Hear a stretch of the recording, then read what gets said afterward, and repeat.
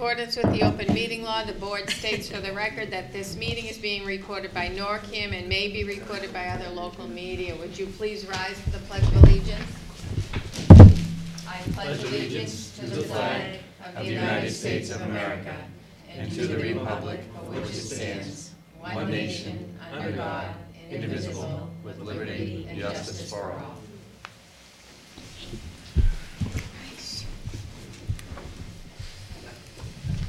Um, are we gonna do First minutes? order is minutes. Madam Chair, I move to approve the November eighteenth, two thousand nineteen regular session minutes as written. Second? I have a motion and Was that second? Second by Mr. Schultz. I mean, All those in favor? Aye.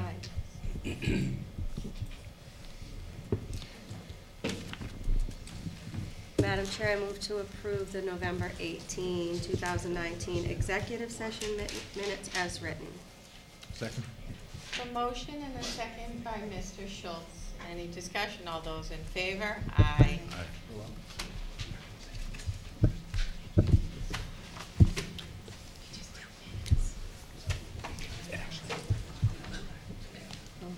All right, public comment. Is anyone here for public comment? Okay, moving right along to board member reports. Would any board members like to provide any reports? No? I'll make a comment. Okay, Mr. Mr. Wallner. So, um, it's very exciting, and I'm, I don't think I'm spilling on Mike's thing, but, um, the CPC did finish the final of the ten-year master plan, so, Mm. um, you know, you can read through the hundred and fifty-nine pages, or I'm gonna share with the board a summary, highlights, um, and you can just look over what they're talking about.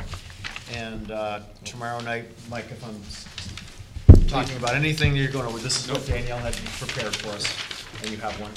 Um, And it just gives, you know, the bullets of what this, this is all about and where the main emphasis is, and I think it's a great summary of what's all inside there. I know they're getting together tomorrow to, to talk about how to get the word out to the town.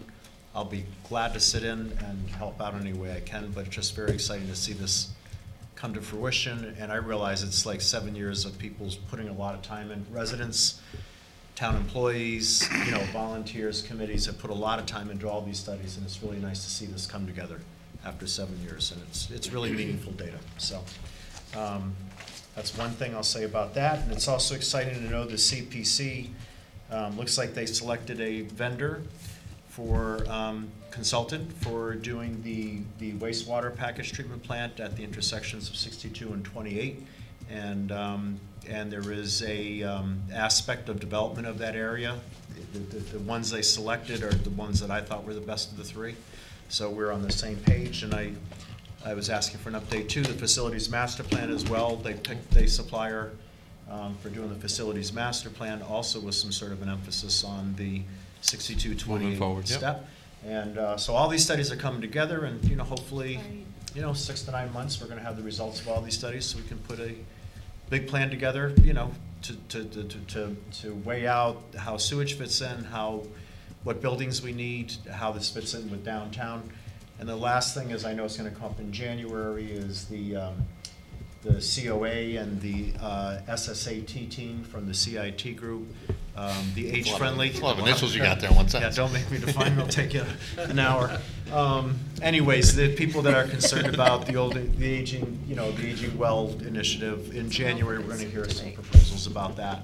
And so all these coming together are very exciting times for our town, so glad to report on that, great. that does good news. And just to echo what you said, to thank the CPC and the Master Advisory Group, members of the Master Advisory Group, and the town planner for all the efforts over the length of years and years that they've Yeah, put into this. this is, this is really good. It's really a good culmination of a lot of Great. efforts, so it's, it's nice we're gonna be able to see the, um, see the results of it and be able to weigh in on a Right. future direction for the town, so it's wonderful.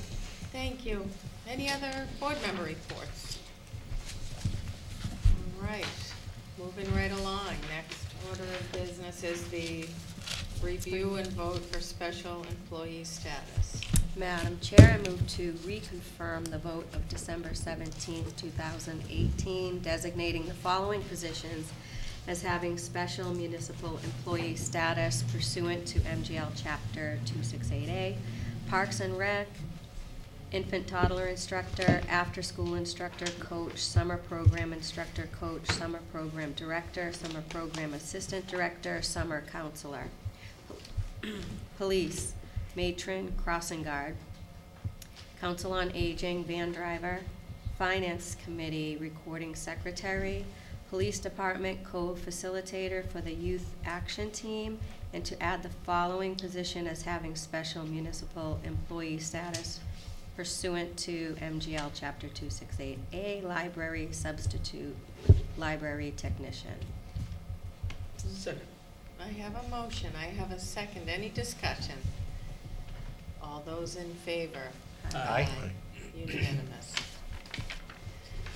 Um, we- We do have a public hearing, but we have maybe four and a half minutes before the seven thirty hour that it was advertised, so why don't we try to, Okay. let's, let's, let's skip to number eleven. I think we could probably resolve that one.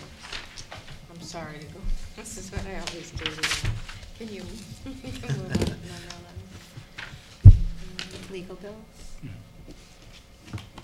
If we finish that one, we can do number ten probably easily, relatively easily too. By the time I find it, we could probably do the public hearing. We've got time. Good.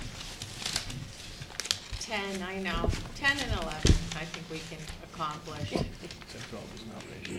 That- There's ten. Yeah, or grab ten. Well, there's We'll 10. move on Yeah, to we'll do number 10. ten. We can Yeah. do 10. It's gotta get done, an hour later. Mhm. Madam Chair, I move to appoint Mark Hamel to the Facilities Master Plan Committee as a representative of the Department of Public Works through June thirtieth, twenty twenty. Second. Okay, I have a motion and a second by Mr. O'Leary. Mr. Gilleberto. Very brief explanation. So Mr. Hamel will take the seat held by former Town Building Superintendent Julie Spur Knight, who was donating her time um, to the committee's service uh, after her departure. Uh, However, the the scheduling of the meetings and her work responsibilities have proved to be um, uh, difficult to balance, I think, and so uh, we appreciate her her time for the past few months, and uh, we welcome Mark to the committee, Mark being the new Town Building Superintendent. Great. All right, this is a roll call name vote. Any other discussion? Mr. O'Leary. Uh, Mr. Hamel? Mr. Hamel. Mr. Wallner? Mr. Hamel? Mr. Schultz? Mr. Hamel? Ms. Gonzalez? Mr. Hamel? And Mr. Hamel.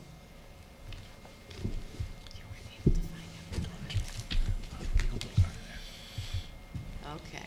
I'll look again. Might be stuck to something. Might be. Yes, we don't seem to have legal bills. Hmm.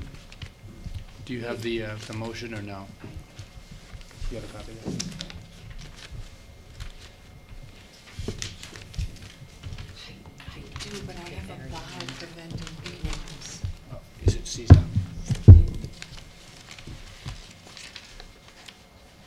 Just use this one.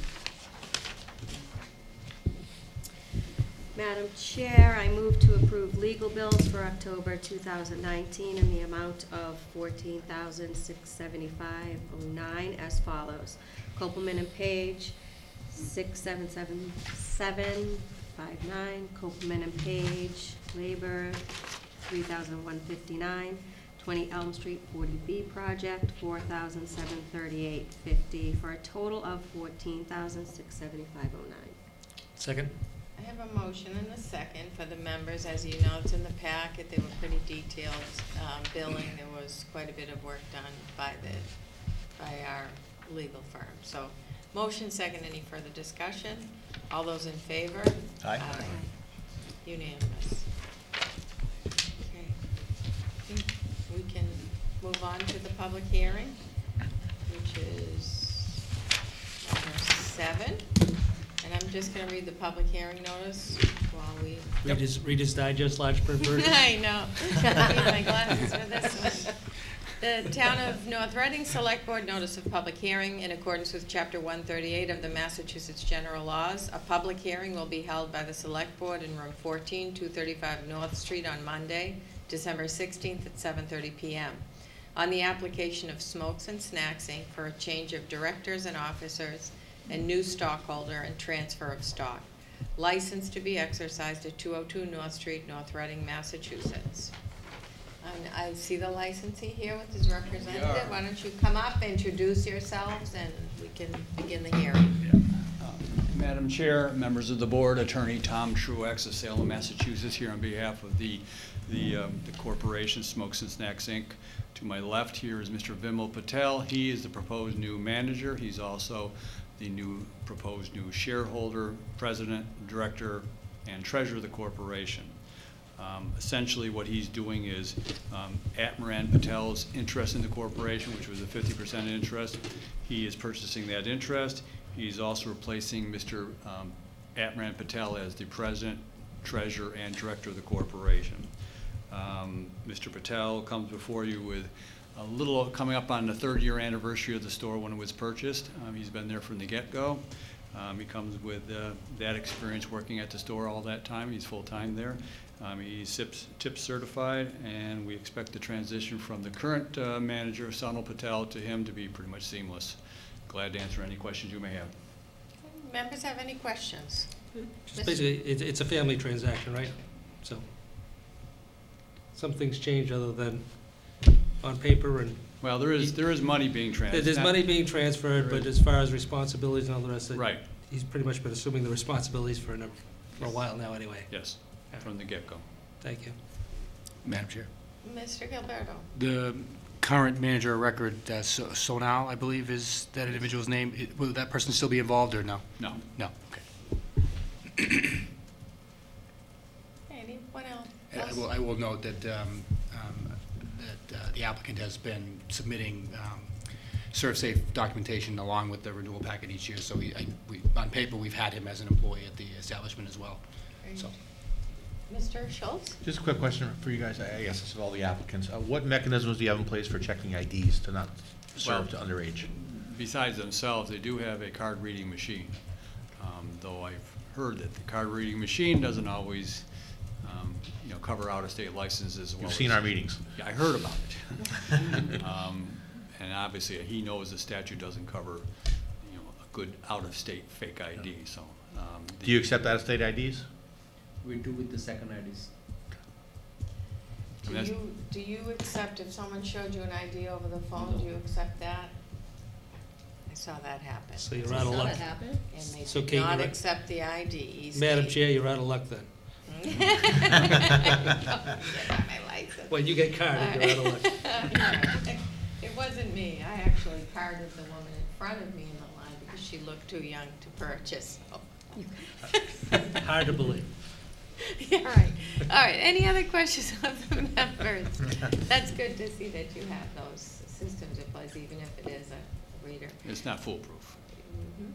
So you have to be on your toes. Right. So since it's a public hearing, I'm going to invite anyone who's here in the audience to speak in favor, to come forward, seeing none and hearing none. Anyone who wants to speak in opposition to the license transfer, seeing none and hearing none. Um, Do we have a motion? We do, Madam Chair. I move to approve the change of officers and directors for the package store wine and malt beverage license for Smokes and Snacks Incorporated, DBA Route 28 Lucky Mart, 202 North Street. Second? Okay, I have a motion and a second by Mr. O'Leary. Any further discussion? Oh, there's also a change of Change. manager Oh, you're going to read the second. for the I'm package sorry. store wine and malt beverage license for Smoke and Snacks, 202 North Street, from Sonal Patel to Vimal and Patel. That's what I seconded. That's right, yes. Okay, so on the completely read motion, we have a second by Mr. O'Leary. Any further discussion? All those in favor? Aye. Okay, unanimous. Thank you very much. Good luck, sir. Good luck. Thank you. Do well. Check And For the record, you want to Jane, I'm close the hearing? signing, we're signing. Oh, okay, Everybody. I, well, sorry, I closed that portion of the hearing. I thought I said that, You- You may have, I mean, we may have missed it. Thank you, Madam Chair. nobody was here to talk to us about it. so. Okay. And so our next order of business, looks like we have quite a few license Quite a few. M- Madam Chair, just by way of very brief explanation, um, we're in a unique situation where we're only having one um, meeting here in the month of December. So we've really done our best to give the board a complete packet. Um, If you were to look in the share file folder, there is a separate file called motions. I think it says there's a dash two for the renewals, so they, they were all put in there this afternoon.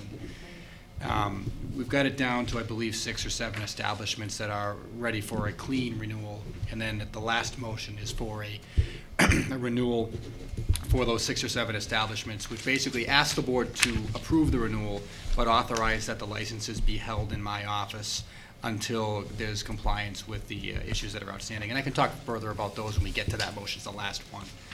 Um, For the new board members, what basically happens is, there are a series of motions, and they're- will be accompanied by a series of um, licenses that you'll need to affix your, your signature to after the vote. Um, I think most of them are in front of you, Leanne, there at this point, um, in a folder. Um, So there is a lot of paperwork that needs to be signed, and So we're gonna just have a signing party after the meeting? it- it's the board pleasure. At times that we've tried to sign on an ongoing basis, Just pass it through Just pass them and Keep around. going. That's what we do. we reass- we basically try to reassemble them, you know, at the end, so. Walk and chew gum, folks. Yep. Thank you, Madam Chair. All right, okay. So, but for purposes of the votes, we're independent. This is where you need a rubber stamp. We're, we're independently approving of these renewals. Ready? Oh, no, we're not. We have one vote, I guess. All right, go ahead. I'll take a deep breath. Madam Chair, I move to renew the following common victualler licenses to expire December thirty-first, twenty twenty, subject to all regulatory department requirements. Andrea's House of Pizza, Beyond Bagels, China Cuisine, Dairy Queen of North Reading, Dos Lobos, Dunkin' Donuts, Whole Donuts, Dunkin' Donuts, North Reading, Maine, Dunkin' Donuts, Shauna Donuts, Ginger Gourmet Restaurant, Horseshoe Cafe Incorporated, J Mac Incorporated, DBA Subway, Joe Fish, Kitty's Restaurant and Lounge, McDonald's Restaurant, Molly's Store Incorporated, DBA Ryer Store, Nan's Center Cafe, Papa Gino's, Sports Spirits and Steaks, Starbucks Coffee, Sawar, Swaran, Swaraj, I was doing so good, LLC, DBA Subway, The Hornet's Nest, The Lobster Claw, and Wendy's. Second. I have a motion and a second. Any discussion? All the, all those in favor? Aye. There are several Se- Several categories of motions. categories all lumped into one on our agenda, I see, okay. I was trying to check off as you were going along, but you went so fast, I may have missed them, so. So, So I will move to uh, common victualler all alcohol. Madam Chair, I move to renew the following common victualler all alcohol license to expire December thirty-first, twenty twenty, subject to all regulatory department requirements. China Cuisine, Dos Lobos, J.R. Crystal Incorporated, DBA Ginger Gourmet Restaurant, Horseshoe Cafe Incorporated, Joe Fish, Kitty's Restaurant and Lounge, Sports Spirits and Steaks. Second.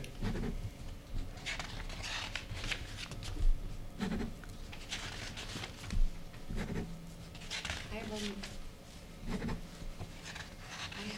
I have- a motion, and I have a second by Mr. O'Leary. Are there- Is there any further discussion?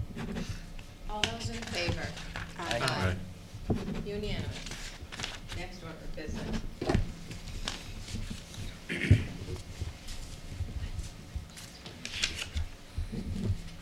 Madam Chair, I move to renew the following Class 1 licenses to expire January 1st, 2021, subject to all regulatory department requirements. Bobcat, Brian Dushak, DBA National Sales, Melconian Subaru, North Reading Motorsports. Second? I have a motion and a second. Any further discussion? Mr. O'Leary. Madam Chair, I'd like the record to show that I will be abstaining for any uh, uh, motions in relation to Class 1 and Class 2 uh, licenses, uh, because I have a family member that holds a Class 2 license in the town and want to uh, avoid any appearance of conflict of interest, so I will be abstaining on Class 1 and Class 2 licenses. Thank you, Mr. O'Leary. All right, so, any other discussion? On the motion, all those in favor? Oh, Wait a minute, excuse me, I'm sorry, I have a motion, I didn't have a second. Second. Oh. Yeah, Mr. we had Schultz? You had a second? Who seconded it? We had a second. Yep. Oh, I'm, I didn't hear, okay, I'm- I apologize. You were in conference. All right, Mr. Schultz, all those in favor? Aye. Aye, so we have four in favor, one Abstention. abstaining. Thank you. So, M- Mr. O'Leary, you, and members of the board, you, I was puzzled because I realized I have a daughter that works at two of the establishments who are up for license renewal, so if the members would please recall that vote so that I can abstain. Is it the common victualler all alcohol, or the one Uh, before, or both? Uh, I only checked off, as I was going along, I only checked it off the I common don't, do we have a and- conflict? I mean, you don't have a financial interest in these restaurants? No, and I, I mean, she's don't an there's a conflict. employee, but Yeah. nevertheless, if, if that's, Would you like to withdraw your vote on those I renewals? would, Mr. Gill, just to avoid any appearance of, This is on the common victuals license? the- well, it was one of each. Common victualler and actually. also the alcohol common She's a victualler. hard worker, she has two jobs. That's good. Um, Yes, one is a, one is an all, all alcohol. All right, so Madam Chair, I move to uh, reconsider uh, license renewals, common victualler uh, licenses. And I, I'm going to abstain because I have a. a- No, but this is to reconsider. Okay, thank you. and then we'll take- Okay, so on that basis, I'm sorry, That's all right. members, but yes, I have a motion. Do I have a second? Second. Okay, thanks, Ms. Gonzalez. All those in favor? Aye. And likewise, Madam No, Chair. no, don't, no, Madam Chair. Uh, I move to um, renew the following common victuals licenses to expire December thirty-first, twenty twenty, subject to all regulatory departments as previously read. Okay, and I'm going to, I- I'll alert the members, I have a, I'm gonna abstain because I have a child that works at one of the, one of the facilities, so. Do it, did I need to second that? Sure. Second. Just- So second by Mrs. Gonzalez. All And those the in- chair will call for, uh, vice chair will call Say for a thank vote. you, All Mr. those in O'Leary. favor of the motion, please say aye. Aye. Aye? Aye. Those opposed and abstaining, And and I'm abstaining, and yes. abstaining. So And four, then- four oh one. Madam Chair, I move to reconsider the common victual all alcohol um, license previously taken. So sorry. See, we were doing good on time, I was just That's okay. moving along. Can't have that. Oh. So the mo- And Mrs. I'm- Gonzalez, I'm gonna second? I second. And Mrs. I'm Second. abstaining because I have a daughter, the same, Look at this huge the crowd same this guy's child empty who, seats the here. same child who works at another one of All those. right, so, uh, now, on the motion to uh, reconsider, all those in favor, please say aye. Aye. Those Aye. opposed, and one abstention. Thank you. All right, now on the motion, uh, uh, Madam Chair, I'll make a uh, motion to renew the following common victualler all alcohol licenses to expire December thirty-first, twenty twenty, subject to all regulatory department requirements, China Cuisine, Dos Lobos, uh, Junior Crystal DBA, Ginger Gourmet, Horseshoe Cafe, Joe Fish, Kitty's Restaurant and Lounge, Sports Spirits and Steaks. Seconded by Mrs. Gonzalez, And I abstain from that. and the Chair has notified us that she will be abstaining because she has a uh, child who works for one of the establishments. Uh, So, on the main motion as presented, all those in favor, please say aye. Aye. Aye. Those opposed, one abstention. Four, oh, and one. I didn't hear anything. Are you done now? Thank you. You're back on. Yes, yes, thank you, thank you, Mr. O'Leary. Madam Thank you, members. And Jane, if you have any problems, let me know. Oh, we have another problem. We have another problem. And likewise, on the, we have the class two license coming up. I'm going to abstain with respect to Route twenty-eight Motors because they are a past client of mine. Okay, Thank you. But I will vote on the other three. All right. So just separate the motion. Just Break the take motion them up. out. I can just abstain from the whole thing too. Probably I shouldn't vote on any of them if I have a client in that bucket. I'll just abstain from the What motion. did you say? I'm abstaining from this. Because we, because we've listed them all together on the motion, Yeah. that's why. Poor Jane's head's gonna explode in about oh three seconds. Keep it simple. All right. Madam Chair, I move to renew the following Class Two licenses to expire January first, twenty twenty-one, subject to all regulatory department requirements. A and J Auto, Brian Dushak, DBA National Sales, Nika Incorporated, DBA Route 28 Motors, p and T Auto Sales. I have a motion, do I have a second? Second? I have a motion and a second by Mr. Wallner. Any discussion? All those in favor? Aye. With two abstaining. Staying and abstaining, two abstentions, yeah. What if three of us have this, Dane? Huh? What if three of us The rule of necessity would kick in. So you'd you Yeah, give you rule a of leave necessity, yeah, yeah, yeah, So that was necessity. Mr. O'Leary and And Mr. Schultz. Mr. Schultz. So it's three. three, oh, I keep doing that. Just for, just for the new members' uh, information, Class 1 auto license automatically gets a Class 2. You know, so Class 1 is, is new, Class 2 is used, Oh. and Class 3 is basically uh, Junk. junk. Okay. Right? So Class 1 license already automatically gets a Class 2 license. So that's why I abstained on the Class 1 and Class And- 2. But you can go with the junk. But I can go with the junk. Okay. We're all back for the jump. Madam Chair, I move to renew the following Class 3 license to expire January 1st, 2021, subject to all regulatory department requirements. Brian Dushak, DBA National Sales. Second. I have a motion and a second by Mr. O'Leary. Any discussion? Again, this is just for the uh, new members' uh, informational purposes. Uh, Mr. Dushak operates his business out of his home, so there are no junk cars on premises. Same with his Class 2 and same with his Class 1. So we've been reluctant over the years to have a junkyard, Yeah. you know, in North Reading. So uh, when he came and applied for the Class 2 and the Class 1, 1, 2, and 3, he basically just deals online and brokers deals, as opposed to housing vehicles uh, in his- on his premises. Thank you, Mr. O'Leary. Any further discussion? All those in favor? Aye. Aye. Okay. Unanimous. Madam Chair, I move to renew the following automatic amusement device licenses to expire December 31st, 2020, subject to all regulatory department requirements. Andrea's House of Pizza, Kitty's Restaurant and Lounge, Loyal Order of Moose, Papa Gino, Sport Spirits and Steaks. Second. I have a motion and And a second. a second. Second? Um, Second by Mr. Schultz. Well, Mr. Schultz. Oh. Any Oh, discussion? I- did he say it? Did he say second? Any just further discussion? All those in favor? Aye. Aye. Unanimous. Um, Mr. TA, do we have to renew Ts, or did that just start? For their automatic amusement license, Yeah, it's it's, it's covered under the, uh, the, the last motion, which is one motion with outstanding issues. But yes, I asked the same Because I question. It- it's knew that would come back to us. yeah. It is in there. And the billiard license is on a different schedule, I believe it is in April. Okay. May or April. And does not require a hearing.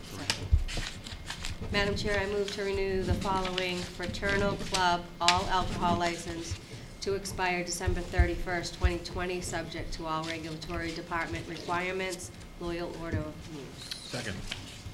I have a motion and a second. Any further discussion? All those in favor? Aye. Aye.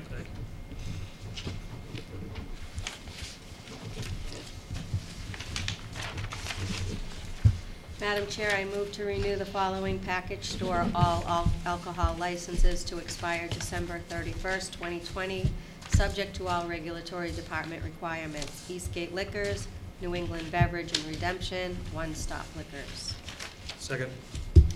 I have a motion and a second by Mr. O'Leary. Any further? Oh, O'Leary.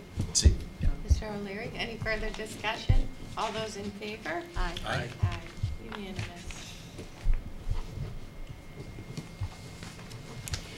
Madam Chair, I move to renew the following package store wine and malt beverage licenses to expire December 31st, 2020, subject to all regulatory department requirements.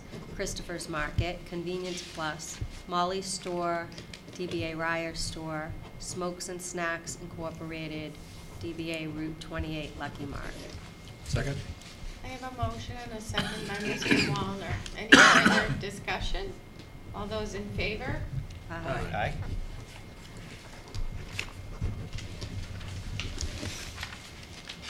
Madam Chair, I move to renew the following jukebox license to expire December 31st, 2020, subject to all regulatory department requirements. Loyal Order of Moose. Second? Motion and a second by Mr. O'Leary. Any further discussion? All those in favor? Aye.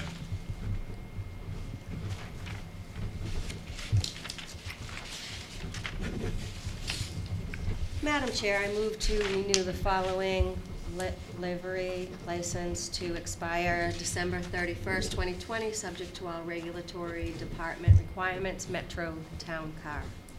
Second? Motion and a second by Mr. O'Leary. All the, uh, any discussion? All those in favor? Aye.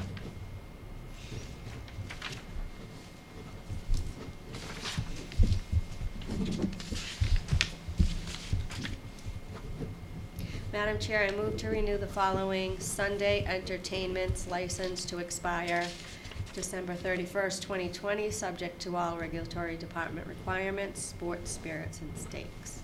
Second? Motion and a second by Mr. O'Leary. Any discussion? All those in favor? Aye. Aye.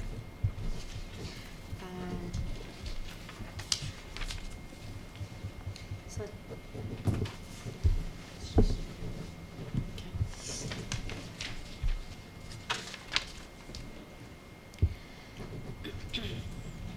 Madam Chair, I move to renew the following licenses and that they be held in the office of the town administrator until the licensees have met satisfactory compliance of all issues with the departments listed. Captain, do I read that whole thing? Captain Pizza, Common Victualler, Health Department. Kawabungas, Automatic Amusement Devices, Health Building. Heavenly Donuts, Common Victualler, Health. Group One Hillview, Common Victualler, Common Victualler All Alcohol, Sunday Entertainment, Admin Fire Building. Mario's Restaurant, Tay, Common Victualler, Common Victualler Wine and Malt, Finance. Speedway, Package Store Wine and Malts, Police, Fingerprint. Teresa's Prime, Common Victualler, Common Victualler All Alcohol, Sunday Entertainment, Automatic Amusement Device, Health, Finance. Second? I have a motion and a second by Mr. Schultz and members of the board. I'm going to abstain from a vote because I have a family member who's employed at one of those establishments. So. Do I have a, any discussion uh, or input, Mr. Gilleberto, regarding that particular vote, please? Sure, so what we've done here is we've conditioned the renewal that there be uh, compliance with specific, specific departments for which there are outstanding issues. Um, You know, I believe that in most of these cases, if not all these cases, there is an opportunity to cure these issues before the license would need to be issued on December 31st. I think many of these establishments are making progress towards compliance, um, which is certainly encouraging. Um, But we've, you know, basically structured it as we have in the past to allow that the board can take its action to renew, um, but that the license would be held. So if the compliance hasn't been addressed or a path to compliance hasn't been agreed to between the regulatory department and the establishment, come January 1st, they would not be able to operate for the purpose that's identified in the particular license. Um, Knock on wood, we have not had that come to pass, uh, at least in my time here in approving these, um, and I'm I'm hopeful that that will be the case um, this year as well. Um, But nonetheless, we do request that the board vote as, as the motion reads. All right, thank you, Mr. Gilleberto. So I have Ms. Ms. Gonzalez. Will we, uh, will we sign them? You will, Yes. and we will hold them and not issue them until the issues are resolved. Okay. so- I should say you're asked to. I shouldn't say you will, You- you're asking. You will. You must. You're not leaving until, So I have a motion and a second. All those in favor? Aye. aye. And one abstain. Thank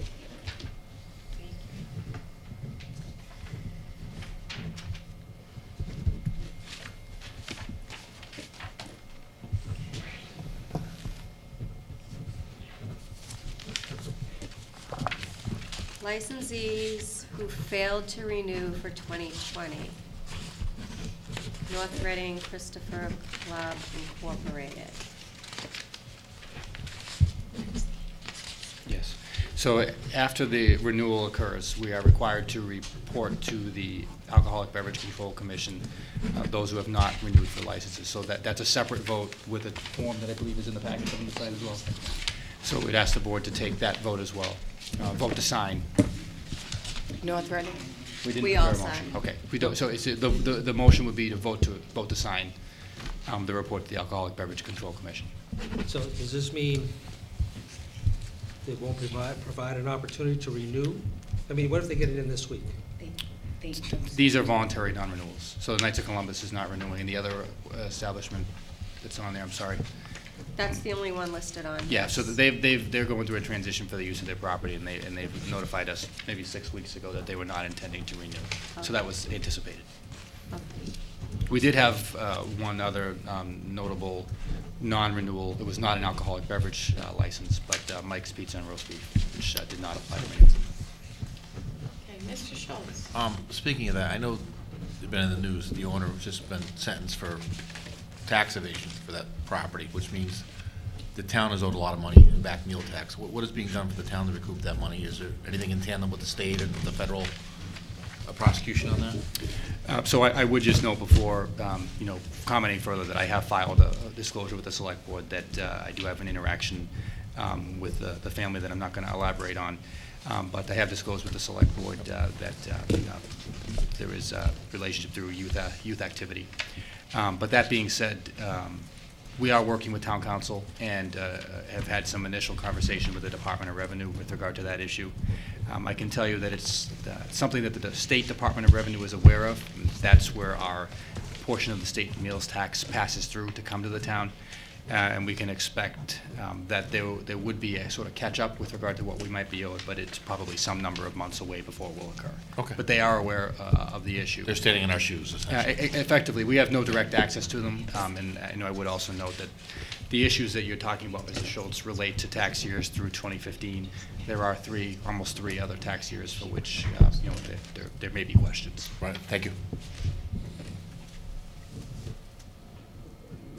I sh- I should also note, mm, um, since uh, it may be out there, that uh, the establishment was visited by the um, the health director uh, today and was uh, issued a uh, a suspension notice with a hearing date scheduled for January. So um, that's uh, not directly related to the issues that I- uh, been identified here in this discussion, and is more related to um, um, health and safety-related issues. But for those who may have seen that notice, that- that's the that's the background on that.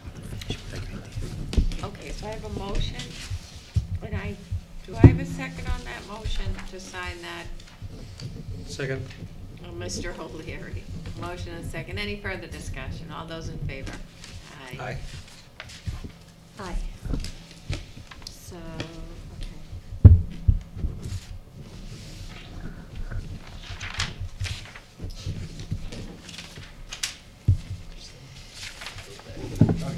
Madam Chair, in accordance with the Chapter 121 of the Acts of 2016 and MGL C 66, 6A, I move to appoint Donald Stats as Records Access Officer for the Town of North Reading Fire Department for a term to run concurrently with his employment as Fire Chief. Okay, so we're moving on to the next order of business, which is uh, appointments. All right, so I have a motion. Do I have a second to that motion? Second. Second? A second by Mr. Wallner. Any further discussion? All those in favor? Aye. Do you have the, st- the um, lia- state ethics liaison and town treasurer too? Yes. We're going in order here. It's just- Uh, You want them in an order? Yeah, you might as well. That's just easy. We have to keep track of this.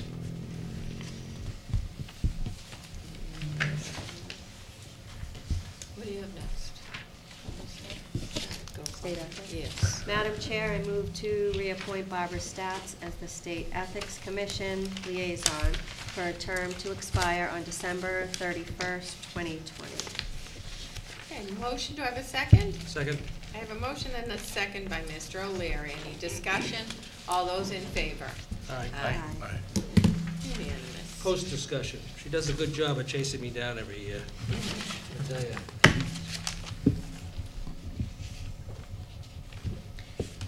Madam Chair, I move to reappoint Mary Ann McKay as Town Treasurer for a term to expire on December thirty-first, twenty twenty. Okay, Second. Motion and a second by Mr. O'Leary. Any discussion? All those in favor? Aye.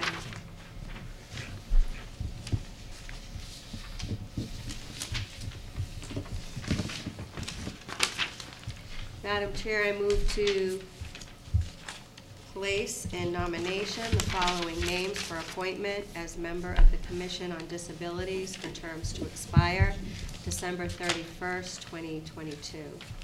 Gloria Mastro, Elizabeth Coolidge Stoltz. Second? Motion and a second, and we'll hear from the liaison, Mr. Wallner. I don't know what to say. Oh, do you, do you have any recommendations for us? No, Gloria is a great choice, yes. Okay, sorry. Gloria would be a great choice. And this is one or two? Two of two, right, Mr.? Yeah, and, Ms. and Coolidge Stoltz. Elizabeth Coolidge Stoltz. Who's been at a lot of our meetings? Yes, she Yes. has. Into the wee hours I of the miss her night. today. Actually, she's not here tonight. I uh, know, you the one time she started.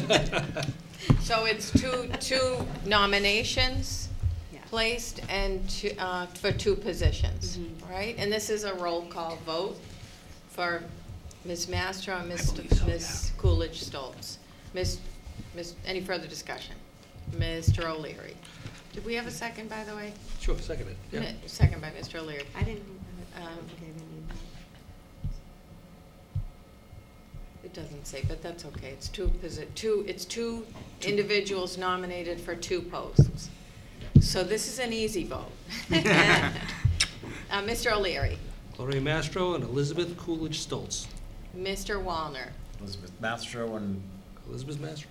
Gloria. Gloria Mastro. What'd you say? Gloria Elizabeth- Elizabeth Coolidge Stoltz. Oh, I didn't see this. Okay, yeah, yes. Yes.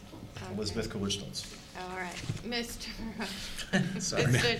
Mr. Schultz. Ms. Mastro and Ms. Coolidge Stoltz. Ms. Gonzalez. Gloria Mastro and Elizabeth Coolidge Stoltz. Okay, and Gloria Mastro and Elizabeth Coolidge Stoltz.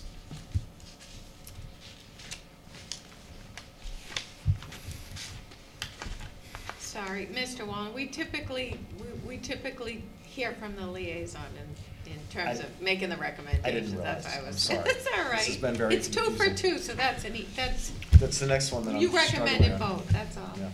All right. Madam Chair, I move to place in nomination the following names for reappointment, appointment as members of the Historical Commission for terms to expire on December thirty-first, twenty twenty-two. Two openings. Um, Dana Rowe, incumbent. Douglas Doty, James Cheney, and Chris Lippert. Mr. Gilleberto? Second. Okay, I'm sorry, you're right. Mr. O'Leary seconded that motion. Mr. Gilleberto. Thank you, Madam Chair. So uh, there's a misprint in the, um, in the motion, the body of the motion. It should say members of the Forest Committee and not the Historical Commission. Oh, okay. So, um, Forest Committee. That's what I seconded. so. I thought so. I thought so, yeah. So, Miss, okay, could so see the Mr. forest through the Wallner, trees. Mr. Wallner, you're up on that one too, as the liaison. I I definitely recommend Dana Rowe, and I don't have any opinion about the other three. So if anybody has any input on that, I'd appreciate it. I- Again, again, I've known Doug Doty for, for a number of years, has been uh, intimately involved with uh, a lot of, uh, shall say, environmental issues in the town, and uh, I think he'd be a good um, addition to the Forest Committee.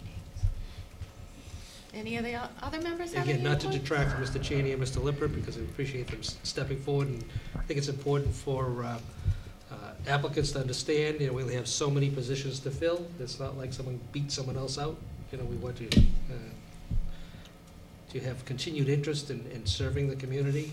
And again, we only have so many positions to fill, and uh, don't be disappointed if you don't get it this time, because chances are you'll, there'll be a vacancy, and we'll give it to you the next time. Mr. O- Schultz, Mr. Schultz. My Irish now? Mr. The German Irish guy.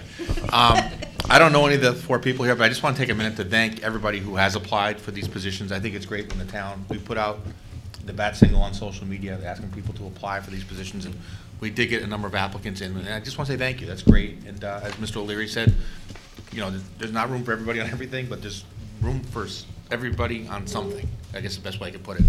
Thank you to the townsfolk who have stepped up and put their name out there and threw their hat in the ring. Okay, this is a roll call vote for, a roll call name vote. Mr. O'Leary, Mr. Rowe and Mr. Doty. Mr. Wallner, Mr. Rowe and Mr. Doty. Mr. Schultz, Mr. Rowe and Mr. Doty. Ms. Gonzalez, Mr. Rowe and Mr. Doty. and I'll vote Mr. Rowe and Mr. Cheney.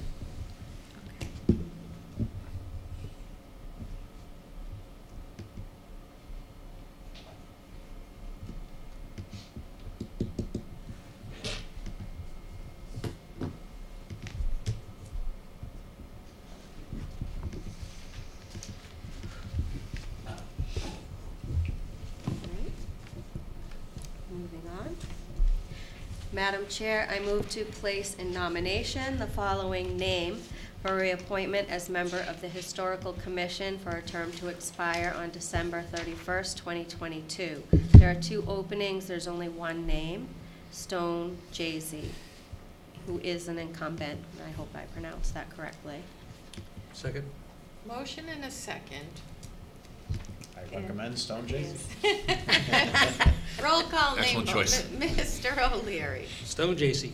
Mr. Wallner. Stone Jay-Z. Mr. Schultz, Stone J.C.? Ms. Gonzalez, Stone Jay-Z? and Stone J.C. Maybe we can get one of those nominees for the Forest Committee to jump over to fill the other, Hmm. would fill the other post on the Historic Commission. Be nice to get a full committee there. Two different, two different responsibilities, Yeah. but It's like all good for the town. Martin's Pond looks a little thin too, so it'd be nice to get somebody over there. Mm-hmm. All right. Speaking of which, Madam Chair, I move to place in nomination the following names for reappointment, appointment as member of the Martins Pond Committee for terms to expire on December thirty-first, twenty twenty-two. There are five openings, we have two names. Lawrence Sousy, incumbent, James Greer. I recommend each of them. You seconded that first. Oh, sorry. Second. Second, I'll I have a motion and a second by Mr. Wallner, who wants to recommend Lawrence Sosi and James Greer. It's a roll call name vote. Mr. O'Leary, Lawrence Susi, James Greer. Mr. Wallner, Uh, Lawrence Susie and James Greer. Mr. Schultz, Lawrence Susi and James Greer. Ms. Gonzalez, Lawrence Susi and James Greer. and Lawrence Susi and James Greer. May I just comment on the people who have resigned from their posts? They have been dedicated, Janet Akosia, Lori Lyons, and Catherine Scanelli. They have been dedicated for probably 20, 25 years to working on the Martins Pond, and they've had huge success doing the um, Oktoberfest that led to the park that we have, which is a wonderful park now. I remember back in the 90s, doing trash pickup in the neighborhood that was originally organized by these people. So they've been really dedicated stewards of taking care of our area, and we're gonna miss them sorely. But I'm glad Larry continues on, especially, he's been part of that group and been doing a good job, so we owe him a lot. Thank you, Mr. Wallner. We- uh, I- I'll tell you, that just to echo the comments and add to it, I mean, the work that's been done by these people in uh, grant money, collaboration with Merrimack College, um, and again, the uh, progress that's been made as far as, uh, you know, cleaning up Martin's Pond, addressing Martin's Pond, keeping it visible in public eye has been huge. And again, it's a tremendous asset to the community, uh, and these people have dedicated a significant number of hours and years uh, to highlighting it and keeping it, uh, keeping us focused on it. And I hope we get some more committed people to uh, continue their work. But uh, to them, thank you very much, and it's greatly appreciated.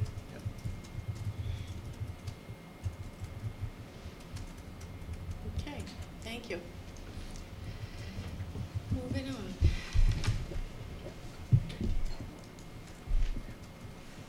Nobody for RMLD? Sorry. We don't have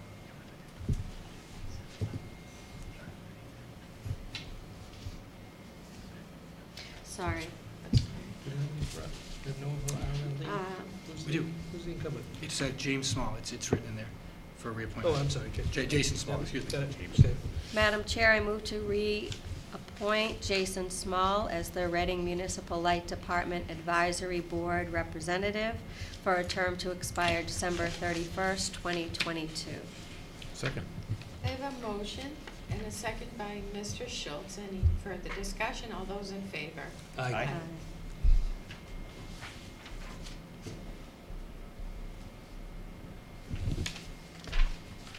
Madam Chair, I move to reappoint the following individuals to the Taxation Aid Committee for terms to expire December 31st, 2022. Debbie Carboni, Assessor, Marianne McKay, Treasurer. Second.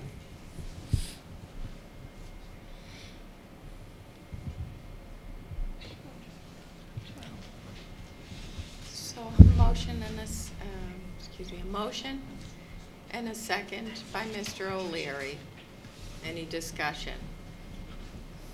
Mr. Walling, you're recommending both, right? All right. Sure am. Two for two? It's a roll call. Oh, yes, Deb, Deb, Deborah Carboni and Mary Yeah, It's just a Maggie. a vote. All right, A it's vote. just a vote. All those in favor? Aye. Right. Are we gonna just jump a little bit out of order, folks, and go to the TA's report? So Thank you. I was watching on TV. Thank, thank you. You're the one. Al was watching. Recalling our votes and Al was abstaining. Yeah, you're one of two. You can go home now. Oh, jeez, jeez.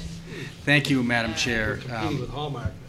Where Mr. Hertz has taken uh, the the time to come to the meeting, I thought it might be uh, appropriate to take this out of order. So one of the items that's in the TA report that I would be reading at, normally reading at the end of the meeting, uh, is a reference to the ongoing work of the bike trail feasibility study, which Mr. Hertz has basically single-handedly undertaken at this point. Um, So I'm just going to read um, from what, uh, what the update is, which is that the feasibility study, their consultant, BSC Group, uh, will be contacting property owners that either abut or may be impacted directly by a potential uh, trail route segment here in town.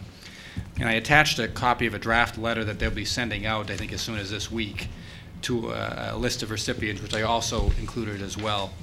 Um, An informational meeting on this may be scheduled at a later point in time with them, but basically the idea is to approach these individuals and get a sense of what their thoughts are and how interested or open they may or may not be, maybe even a better understanding of some of the physical challenges for the parcels.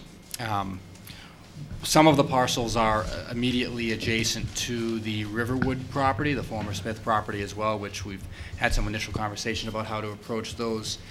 Um, But um, the rest of the properties um, are are sort of outside that buffer. And I think, Phil, you want to add anything with regard to where things stand, or maybe just a general update on the project? Yeah, I mean, we're, we're we're moving along. We, we have a, a primary route. Um, uh, The, the, the most complicated area is right by Riverwoods, um, is how do you get across Park Street? Um, And uh, to follow the rail line closely would make the trail go within 30, 20, 30 feet of a couple of houses. So it's still possible those property owners might give an easement, but it would go, it it would go close to their homes, so they might, they might object. The, the route that would pass furthest from the homes would be to work something out with the, the people that abut the Riverwood area, um, particularly the the Smiths, primarily, the Linda Smith, her property. Um, And the idea would be to try to get access back to that property and be able for people to, to use it, um, which logically would, be- there are two routes into that property. Um, One is via the bridges that connect up to uh, Route 62 Elm Street, and one would be Wright Street. Um, And ideally, we could get some sort of easements to run a, a right-of-way from the land to Wright Street, so people could get to it right from, from Wright Street. Um, On the bridges, BSC, when we walked the area, they said that those two bridges would most likely qualify for state funding for rebuilding under a small bridges program. Um, and that uh, they would be brought up to code for large trucks, fire trucks, or for that matter, Linda Smith's vehicles. So it might be an interesting compromise to, um, the town would need to have title to those bridges. It couldn't be just an easement for the, for the state to give funding for those bridges. The state would need bridges, and I, and, and uh, Mike's going to schedule some time with the town counsel where we can, where we can talk about this in more detail. But I think this is, we've got an opportunity with the trail um, to use the consultants and to think about maybe finally having a way of getting in there. Um, uh, Figure out where parking might be and how we might access it. So then, if the trail ran that way, it would, the, the, the the rail trail itself is to the, is uh, on the southern end of uh, Riverwood you'd run the trail through, through the, through the park, through the Riverwood area, and it would connect into Wright Street, and the trail would run down Wright Street and then cross 62 right at my property, just coincidentally, um, and uh, go across 62 there. And it would pass not near any homes. Uh, We wouldn't, uh, we wouldn't widen White, Wright Street. It would run on Wright Street. Maybe the speed limit would, would, would go down a bit, which I think the people on Wright Street would like. Um, It would become, people walk on the street now, and it might be a very good compromise. But that's, that's the trickiest part of the whole, the whole trail. Um, There is, the other tricky part is getting from Haverhill Street into Ipswich River Park. Um, The, the rail bed itself runs through uh, North Reading Auto Body. Um, There, it's not as hard as where the, the Riverwood is. There are possibilities of running it in the wetland, um, right along the river. It would be more complicated. It would be a lot easier if we could, if, if, if we could secure an easement uh, on his property, but uh, there are, there are ways around it there. Um, Beyond that, they, they've, uh, they've come up with some, some good solutions um, to get, to, to run the trail out to, out to 20, out to Route 28. um, You know, potentially connecting to whatever you do with that, that area um, by Ocean State job lots. Um, And I heard you talking earlier about the potential um, waste treatment plant. And I don't know, if- I don't know if that's still in the mix, that, that, Yes. that, that there may be um, a way of combining the work on the rail trail with the, with the uh, digging up of the, of the area there uh, for the, for the waste treatment plant. The rail trail would essentially run right on top of the waste treatment uh, uh, pipe, um, which might be efficient use of the, of- of resources.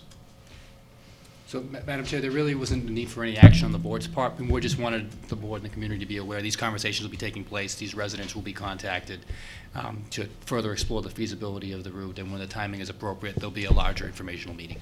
So, really, that was all. And like I said, we'll be in touch with regard to a conversation with town counsel. Mr. Schultz? I just want public to say, Mr. Hertz, I've worked with you for a while on this, and you've isolated, I mean, I've come in here with this room with you, and you've laid out map after map on these tables. and We have you've- more now. You've done, I just want to say publicly, and thank you, you've done, I don't know how many hundreds of hours you put into this. Yeah. And when I say, when Michael says you basically been the driving force, you have been, and we just, I thank you. That's Well. I- and I appreciate your, your support, too. Um, We we wouldn't have it, and, and and if we can get through this, then, then there's a bigger, there's a bigger question that'll come to the town, you know, at the end of this. So, Thank you.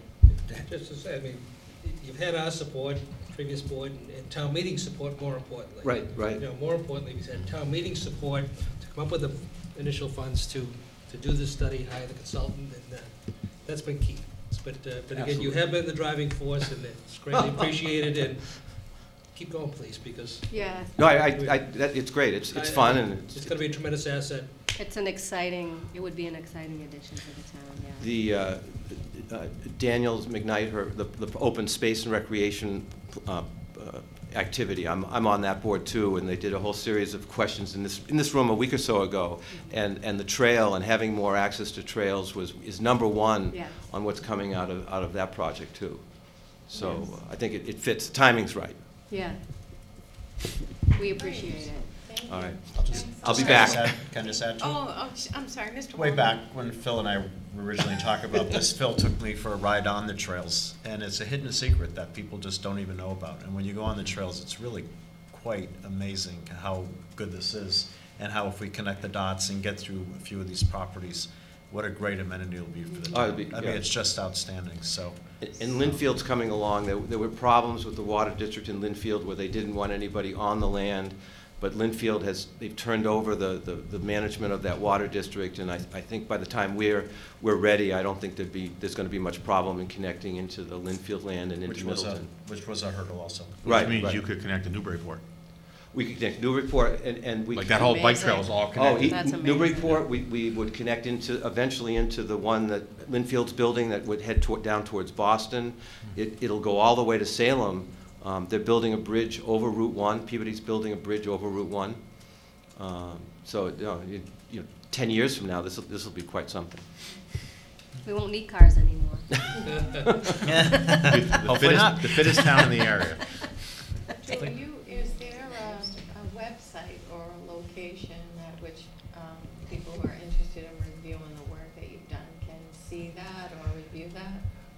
that? I know you it- always give people your number to say, call me and I'll, know. I, I think once the, once this is done, um, that'll be logical. I think, right now, it's a little sensitive, because we have to get out there and tell the abutters. Um, I mean, we've got to figure out how do we approach Linda Smith. I mean, if, if we can't figure out how to get it across Park Street, we have a, we have a, you know, you can't, you lose a third of the trail. You lose all the connectivity. So I think once we have a, a pretty good direction and know how that'll work, then, then, yeah, we have to put it all out there and everybody has to see it. Any other questions?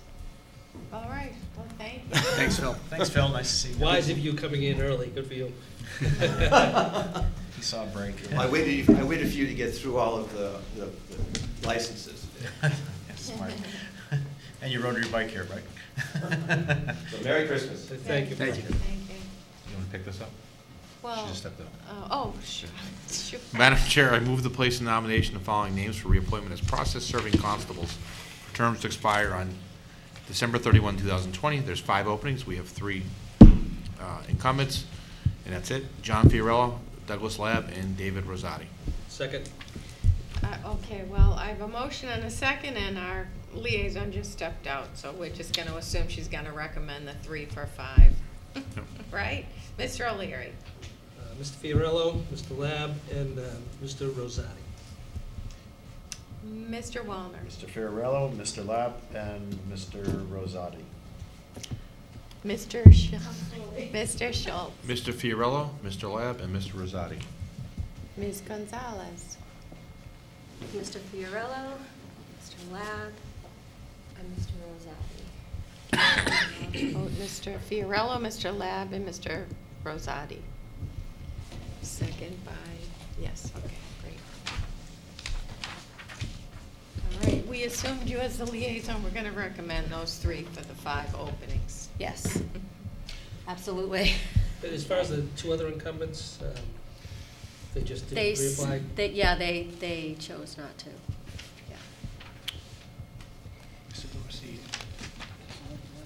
Oh, Mr. DeRosa. DeRosa, DeRosa and Paul Dorsey? Both declined to, to, Right. for re- reappointment. Uh, Madam Chair, I move to place in nomination the following names for appointment, reappointment to the library trustees for the following terms.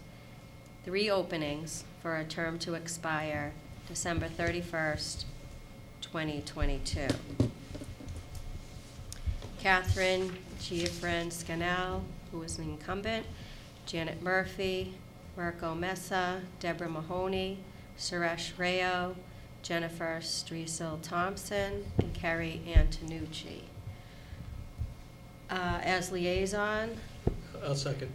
Uh, That's a motion and a second by Mr. O'Leary. This is for three openings. for there's the- also a, a term to expire December 31st, 2020, because of somebody stepping down. That has to be filled. Um, Janet Murphy, Marco Mesa, Deborah Mahoney, Suresh Rayo, Jennifer Streetzel Thompson, and Kerry Antonucci.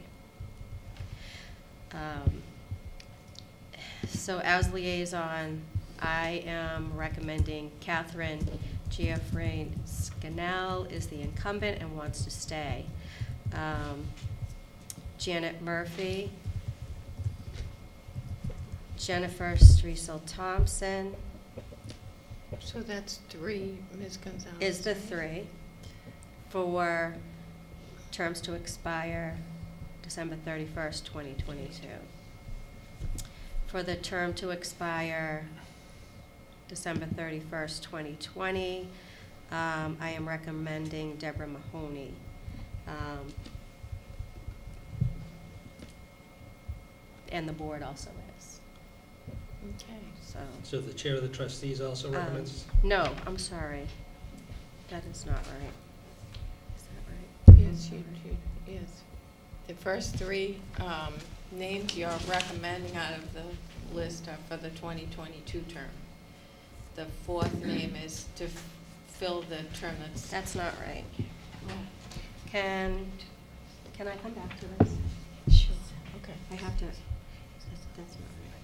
So this is the twenty twenty? All right, that's all right, you can.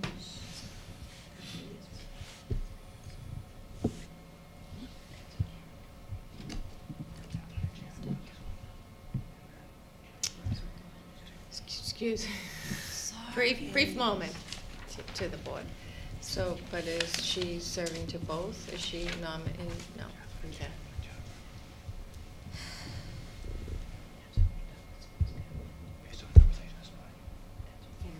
She should be here. Mr. Gilleberto? I'm, I'm going to try to assist, although I was not part of the conversation. Yeah. But my, my understanding after um, Ms. Gon- Mrs. Gonzalez and Ms. Marlin reviewed the records, that the intention was to nominate Ms. Jeffrey and Scannell and Ms. Murphy for the term to expire December 31st, 2022. 2022. And that Ms. Streisel Thompson would be nominated for the term to expire December 31st, 2020. Correct. For a total of three appointments, Correct. two ending in 2022 and one ending in 2020. Thank you. And and I believe that the intention was to not appoint associate members at this time. Yes, But perhaps in the future. correct. I'll second the motion. Don't know if you already did that. So the recommendation is for Catherine Scannell. Scannell. Scannell, and Janet Murphy, And Jenny. and then Jennifer Thompson for the 2020. So we're leaving one vacancy for a full term? No, This would fill all all of the seats. vacant, they'll all be filled, we just won't have associates. Those There's- are the there's full two So terms. for the there's- So fall. there's two for 2022 and one for, Right. for a year, Correct. for a total of She's- three. Finishing a Correct. term.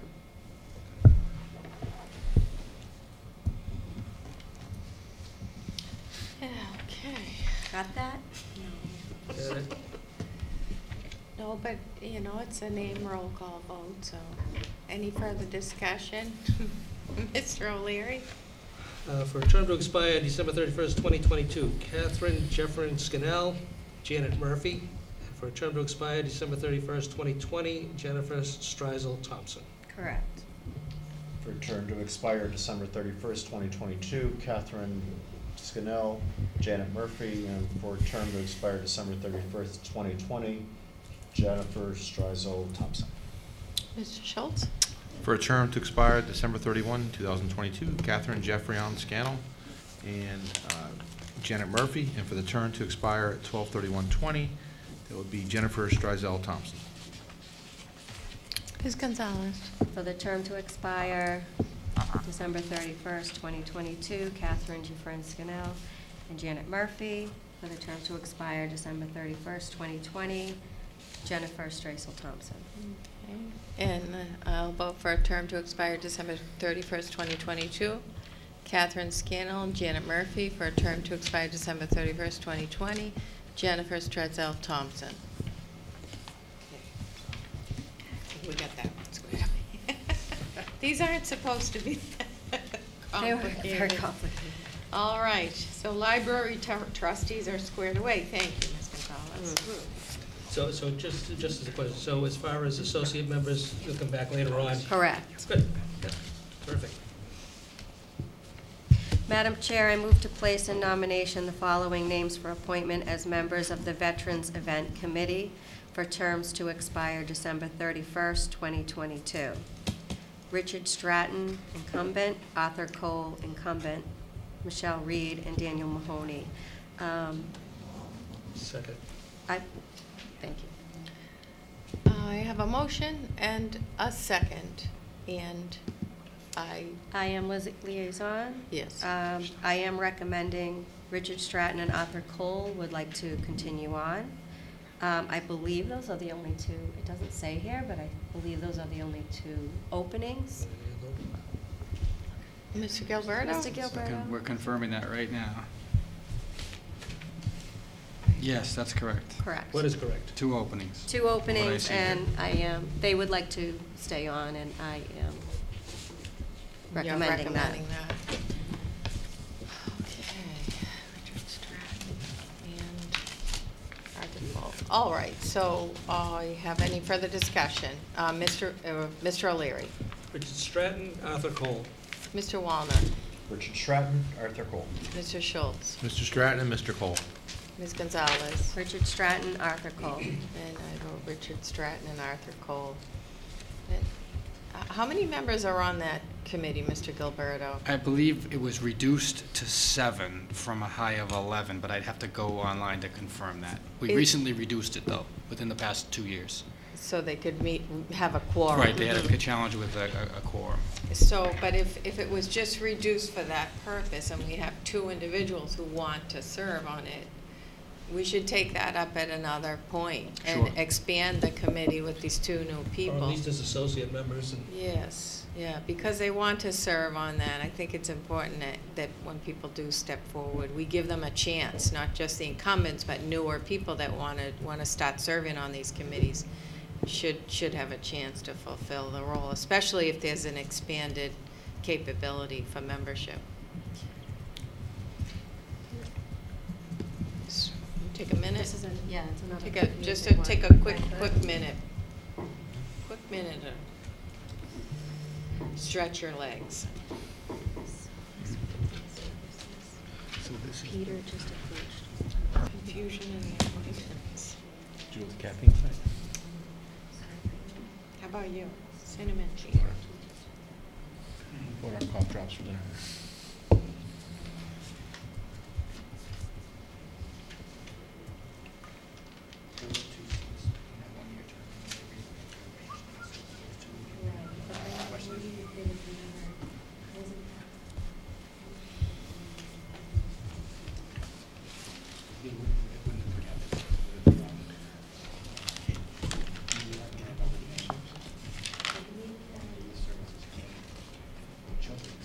I mean, I don't see why not.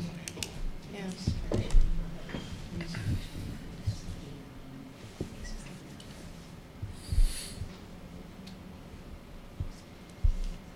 I mean, yeah, I'll recuse myself. yeah, When in doubt. yeah, exactly. There's no financial gain to it, but you might as well, just to avoid any issue, you know.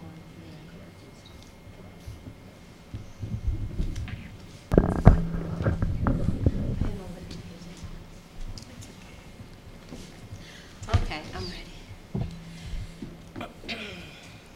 Madam Chair, I move to reappoint to the Youth Services Committee the following individuals for the terms noted.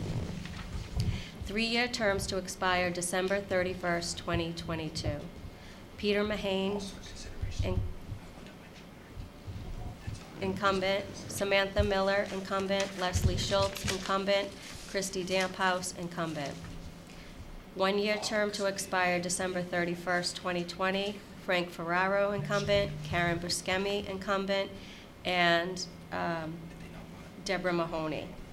Um, Has been recommended by the board, and I will recommend her myself. So I have a motion, do I have a second? Second. And then let's hear from the liaison, oh, Mr. Mr. Schultz. Uh, since one of the candidates also doubles as Mrs. Schultz, I'm gonna recuse myself from this particular vote. All right. And Kim, we'll, we'll hear from the liaison on recommendation. Oh, I, um, I recommend all the incumbents who um, wish to stay, and Deborah Mahoney, who has been recommended by the board, and I will recommend her myself. So where where is her name? I'm sorry. So she had, she just got added on at the last minute, As which term? uh, one-year term, Deborah Mahoney? 2020? 2020. And there's room for everybody? Yes, there was an open seat. Correct. Okay. All right. You need a second? Second. Oh, I thought we had a second. Yeah, we had a but That's second. You had one? So now it's a, a roll right. call. So, Mr. O'Leary, Uh, For a three-year term to expire December 31st, 2022, Peter Majane, Samantha Miller, Leslie Schultz, Christy Damphouse.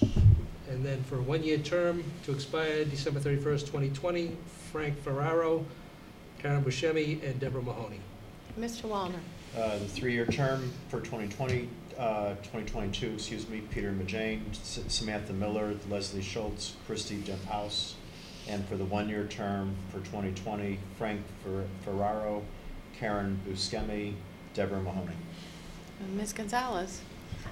Uh, For the 2022 term, Peter Majane, Samantha- Samantha Miller, Leslie Schultz, Christy Damphouse. One-year term, 2020, Frank Ferraro, Karen Buscemi, and Deborah Mahoney. Okay, and I'll vote for the term to expire December 31st, 2022. Peter Mahane, Samantha Miller, Leslie Schultz, and Christy Damphouse. And for a term to expire December 31st, 2020, Frank Ferraro, Karen Buscemi, and Deborah Mahoney.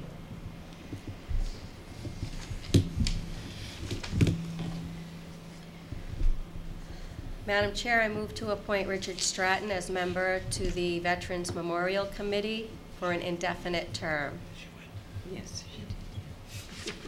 All right, I have a motion. Do I have a second? Second? Second, this is an easy one, This is right? an easy Are you going to recommend I, um, yes, um, Mr. Stratton approached me with an interest, and there was an opening, so I I highly recommend him. Great. Mr. O'Leary, Mr. Stratton? Mr. Wallner, Mr. Stratton? Mr. Schultz, Mr. Stratton. Ms. Gonzalez, Mr. Stratton? and Mr. Stratton.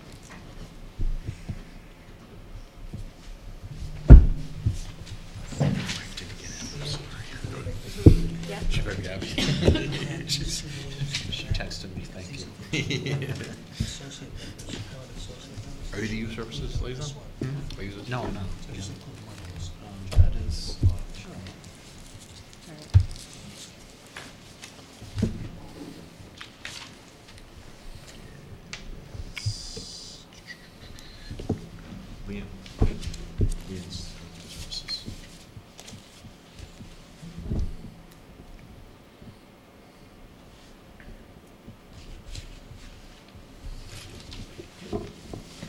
Uh, both incumbents?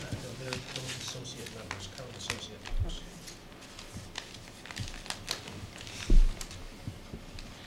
Madam Chair, I move to place in nomination the following names for appointment, reappointment as member of the Conservation Commission for terms to expire December 31st, 2022.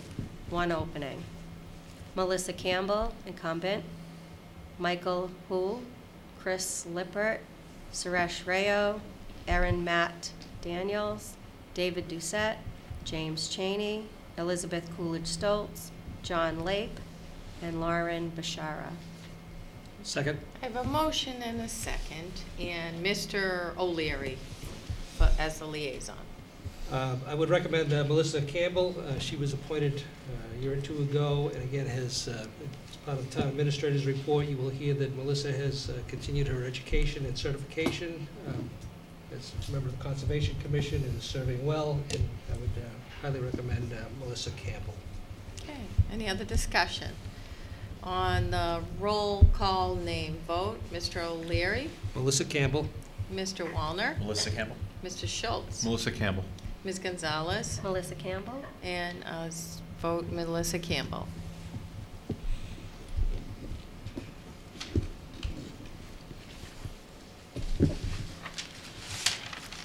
Plus, it's my maiden name, so I was a fan. What's that? It's my maiden name, so Melissa? Campbell. Melissa. Interesting name. Diane Melissa.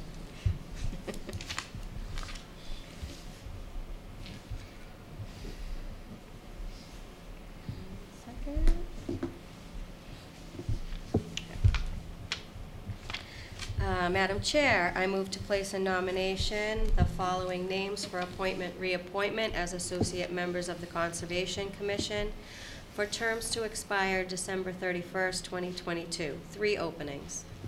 John Lape, incumbent, Lauren Bashara, incumbent, Michael Hool, Chris Lippert, Suresh Rayo, Erin Matt Daniels, David Doucette, and James Cheney. Second. I have a motion and a second by Mr. O'Leary. And Mr. O'Leary is the liaison. Thank you, Madam Chair. I would uh, respectfully request that my colleagues uh, only fill two of the openings at this particular point in time. Uh, My recommendation would be the two incumbents as a result of some of the mix-up over the last month or so. um, Consultation with the Chair of the Conservation Commission, we have been unable to contact everybody who is looking for, uh, seeking some appointment as an associate member here.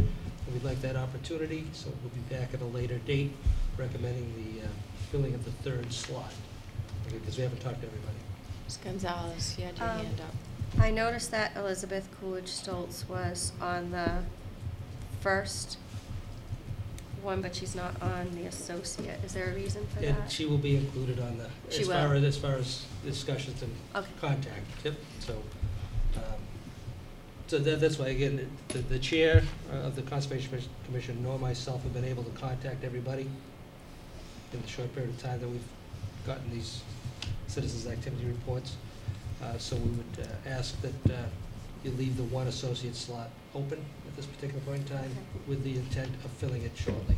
Yeah, I'm, I'm in favor of that if we do fill it shortly. We usually go along with the liaison recommendations anyway, so. Well, so. if you recall, you know, last year we put the call up because we didn't have anybody, and we had a need for, Yes. for full membership on the Conservation Commission, and we had a bevy of activity, which was terrific. Yes. And then we have a significant amount of interest, and we'd like to uh, continue backfilling. Uh, Just as a way of information uh, to the board, I would anticipate that we're probably going to have another resignation at the end of January of a current Conservation Commission member, at the end of January, so that we'll be uh, looking to fill a full membership, uh, probably end of January, beginning of February, and then backfilling again another associate member slot. So uh, we have a very active um, associate membership at this point, which is terrific, so they can step right in and be right up to speed. And so that will actually create a second associate member slot if we promote from within. So it's just an FYI. Okay. So again, I would uh, recommend at this particular point, just filling two of the uh, three spots. And my recommendation would be John Lape and uh, Lauren Bashara. Okay, Mr. O'Leary. John Lape, Lauren Bashara. Mr. Wallner. John Lape, Lauren Bashara. Mr. Schultz. John Lape, Lauren Bashara. Ms. Gonzalez. John Lape, Lauren Bashara. Yeah, both John Lape and Lauren Bashara. Thank you.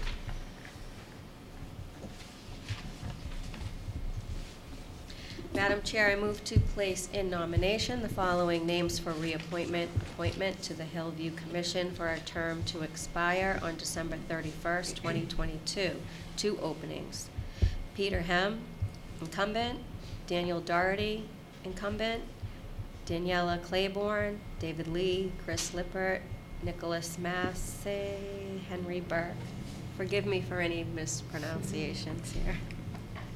All right. Second. I have a motion and a second, and we'll hear from the liaison, Mr. Le, Mr. O'Leary. Uh, Madam Chair, I would recommend to my colleagues, again, Peter Hemme and Daniel Doherty, both the incumbents of the Hillview Commission. As you are aware, the Hillview Commission uh, is vital in relation to uh, uh, the success of the operation. Mr. Hemme is the current treasurer, CPA, and has been lending his expertise for a number of years. Mr. Doherty is in the uh, um, food business, and again, lends a significant amount of uh, expertise uh, to the commission in relation to the ongoing operations uh, there, and I think it uh, would be incumbent upon us to reappoint the incumbents, Mr. Hemme and Mr. Doherty. Incumbent to the incumbents? It's incumbent upon us to. I can cough. All right, I have a motion and I have a second, and Mr. O'Leary, Mr. Hemme and Mr. Doherty. Mr. Wallner, Peter Hemme and Daniel Doherty. Mr. Schultz, Uh, Mr. Hemme, Mr. Doherty. Ms. Gonzalez. Peter Hemme, Daniel Doherty. And I'll vote Peter Hemme and Daniel Doherty. Thank you.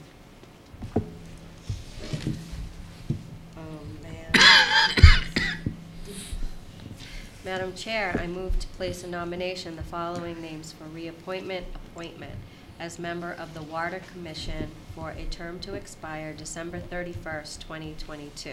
Two openings. I'm going to do my best with these Subramani. names. Amit Subramani, incumbent, Zuyang Zhang. Zuyang Zhang.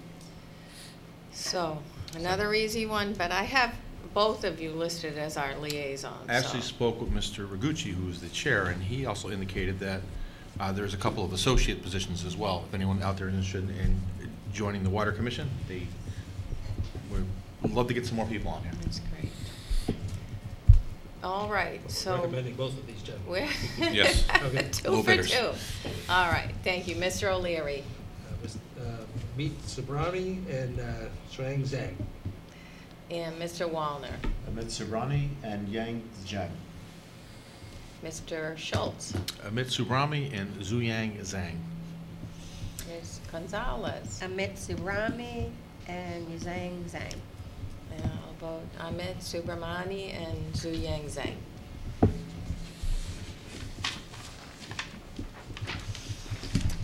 And finally, I- Are you sure? We have a few more here, so, what, el- what else do you have? You said finally? I have about, I don't have any more are we missing any? Okay, This is Board of Appeals. I have, uh, there should be an 11th page of the motions relative to the Board of Appeals, yep. Is there not a motion there? Is there anything with cultural council? We never, we didn't, we didn't have any other I, I don't believe that there were any others that were pending for appointment, ready for appointment, reappointment at this point in Okay. time, So we're not. other than the Board of Appeals. Oh. All right. Okay, Sorry about that. Madam Chair, I move to place in nomination the following names for reappointment, appointment as members of the Board of Appeals for terms to expire December 31st, 2022. Two openings. James Dimitri, incumbent, Paul O'Leary, incumbent, Kerry Antonucci, Antonuccio, and Bob Green. Okay. I have a motion. Do I have a second? Second. I have a motion and a second by Mr. Schultz, and we'll hear from Mr. Schultz as liaison. Uh, We have some great candidates here. Mr. Dimitri is a longtime member, current chair, and is handling the 40B hearings right now with the Elm Street property. Mr. O'Leary, another longtime member, we thank him for his service as well. Uh, Mr. Breen, who's uh, eminently qualified, he's an attorney, he owns no commercial property. He's argued appellate cases in the U.S. Appeals District Court, the Supreme Judicial Court, and the Mass Appellate Court. He's litigated in the Superior District and Probate and Housing Courts. And Mr. Antonuccio, who applied as well, I thank you, thank all of you for your applications. And I'm going to nominate Mr. Dimitri and Mr. Breen. Okay. All right. So, on a roll call name vote, Mr. O'Leary. Uh, Just as a way of comment, uh, just, uh, first of all, I'd like to state that, you know, my brother Paul O'Leary is an incumbent, 28-year veteran of the uh, Board of Appeals. Um, There is no inherent conflict, only because it's a non-paying position, so that I will be participating. Um, It's uh, somewhat unusual that if there's going to be a uh, recommendation of not recommending an incumbent, that there hasn't been any communication, at least there hasn't been any communication with this member of the board uh, from the liaison. Um, Unless there's some uh, compelling reason as to uh, not to reappoint incumbents, I mean, I certainly would uh, recommend and have in the past, over the years, um, reappointing the incumbents. So I will be supporting Mr. Dimitri and Mr. O'Leary. Mr. O'Leary, that's your name, roll, your name vote? Uh, Mr. Dimitri and Mr. O'Leary. All right. Mr. Wallner. Can I just understand the difference between the incumbent and the, uh, from the liaison and between your recommendation and the incumbent? Why, why you're, And what was the recommendation of the chair? I spoke with the chair, I didn't ask for his recommendation. I know he has a personal relationship with one of the members on the board. Um, I recommended who I thought was best for the position.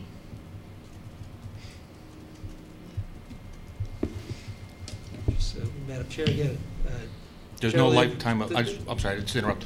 I- I- One thing I am concerned about in this board is the- the appearance of them, there being lifetime appointments on these chairs. And I think, frankly, I think these boards should have term limits on them. And I just think Mr. Breen's more qualified, that's all.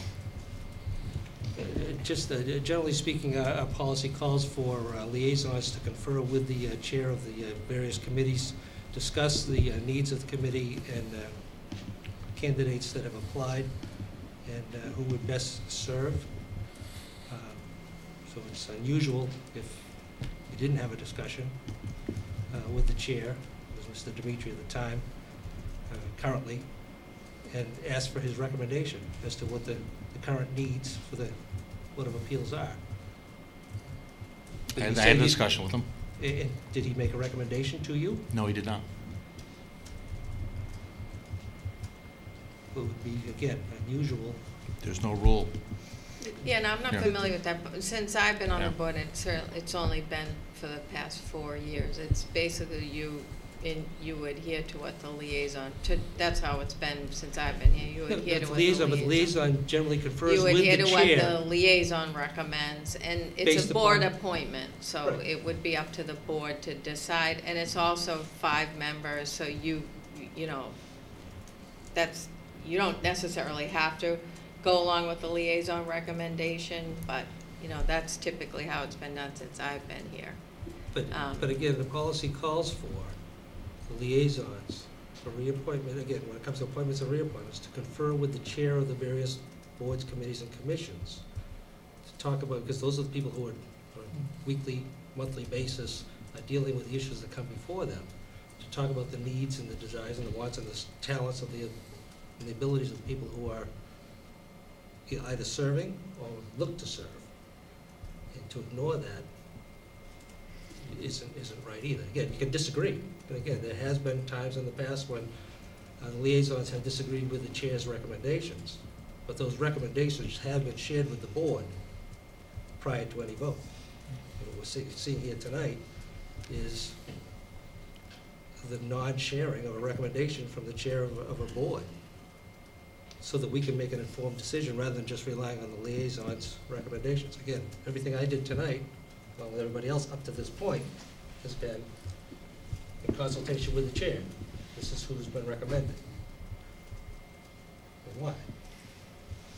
So, i- if we're gonna deviate from that, Well, there's no policy that I'm aware of that you're referring to. I don't, let's not, Yeah. I don't, I don't want to get into a bit, Hmm. if we could all just take, e- e- everyone have, a so Mr. Wallner had a question about what's the difference between incumbent and liaison recommendation, so that's what we're trying to answer. Well, there's. I'm not familiar with anyone telling in advance their recommendation, other than at the open and that's just meeting. gonna be, again, I've Yeah. been sitting here for close to thirty years.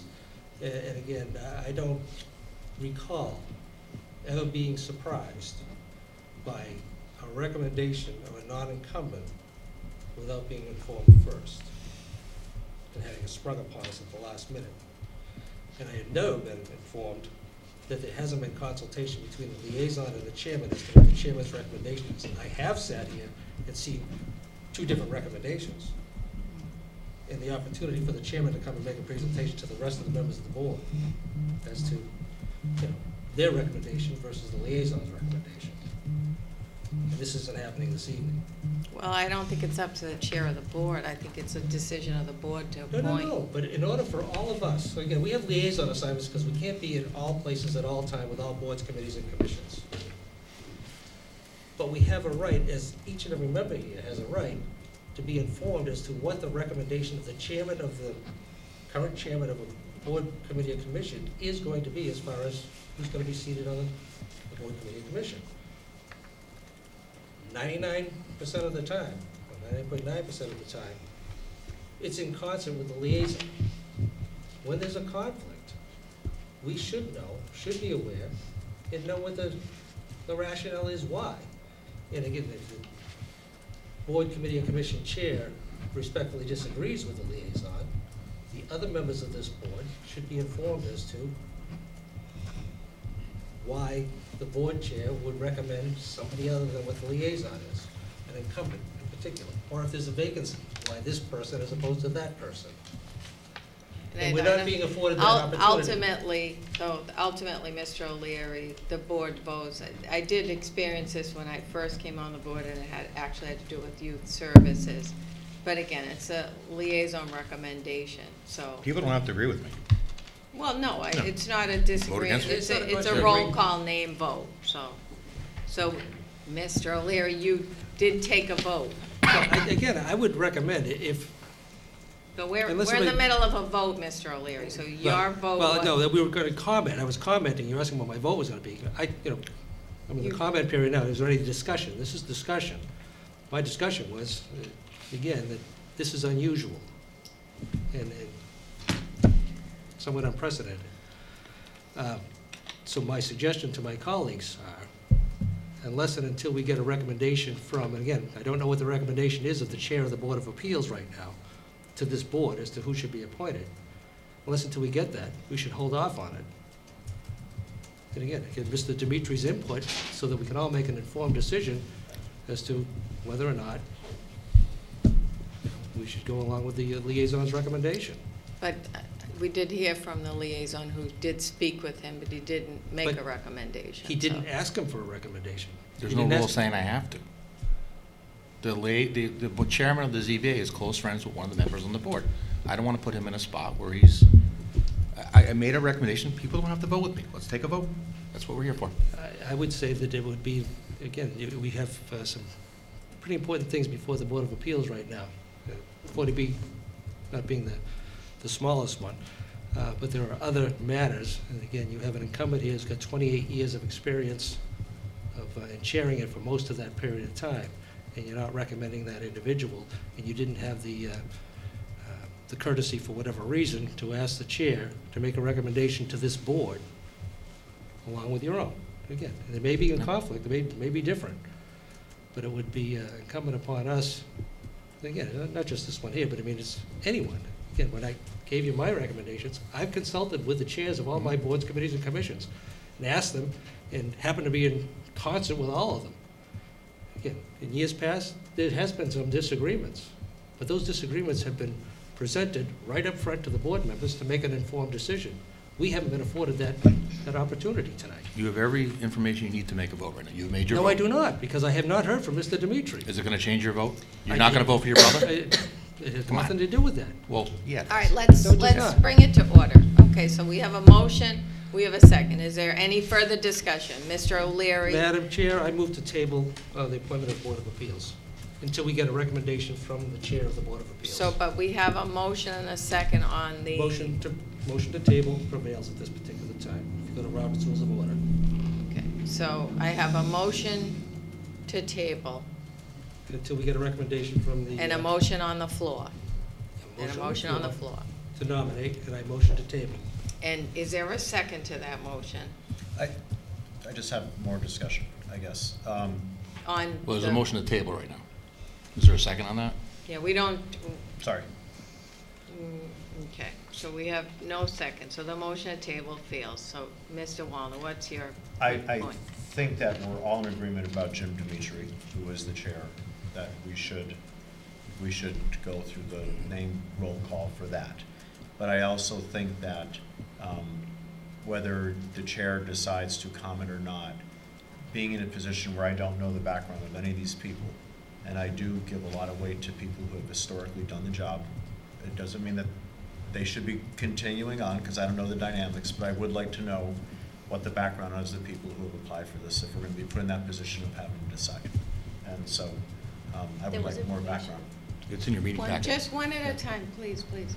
Mr. So Wallner, I'm, yes. I'm proposing now, we, you know, we affirm Jim Dimitri, and that we table the other ones until we understand how Jim feels, and that Mr. Dimitri feels, and also that, that we also get background information on the, the, the discussion. I don't know if that's even possible, but I think that makes Sure, more it's sense. possible. Again, we didn't fill the other one. So that's a, next one. Excuse, excuse me, one minute, please. It'll give us a chance to think about it.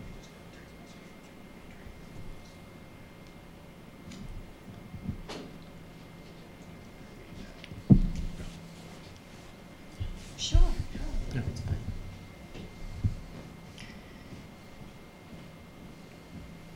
Mr. Gilleberto. This'll clear up any confusion, right? I- I I guess, so I have a text message I received from Mr. Dimitri stating that um, um, he did,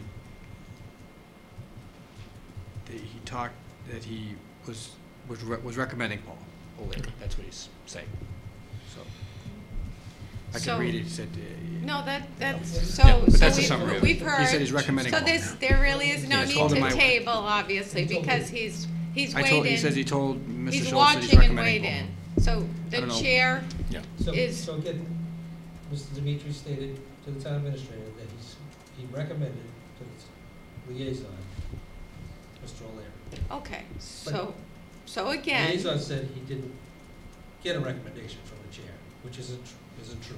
Is that true? Did he tell you he was recommending Paul O'Leary? No, it didn't come up. He didn't tell you that? I just Come on. answered you. So.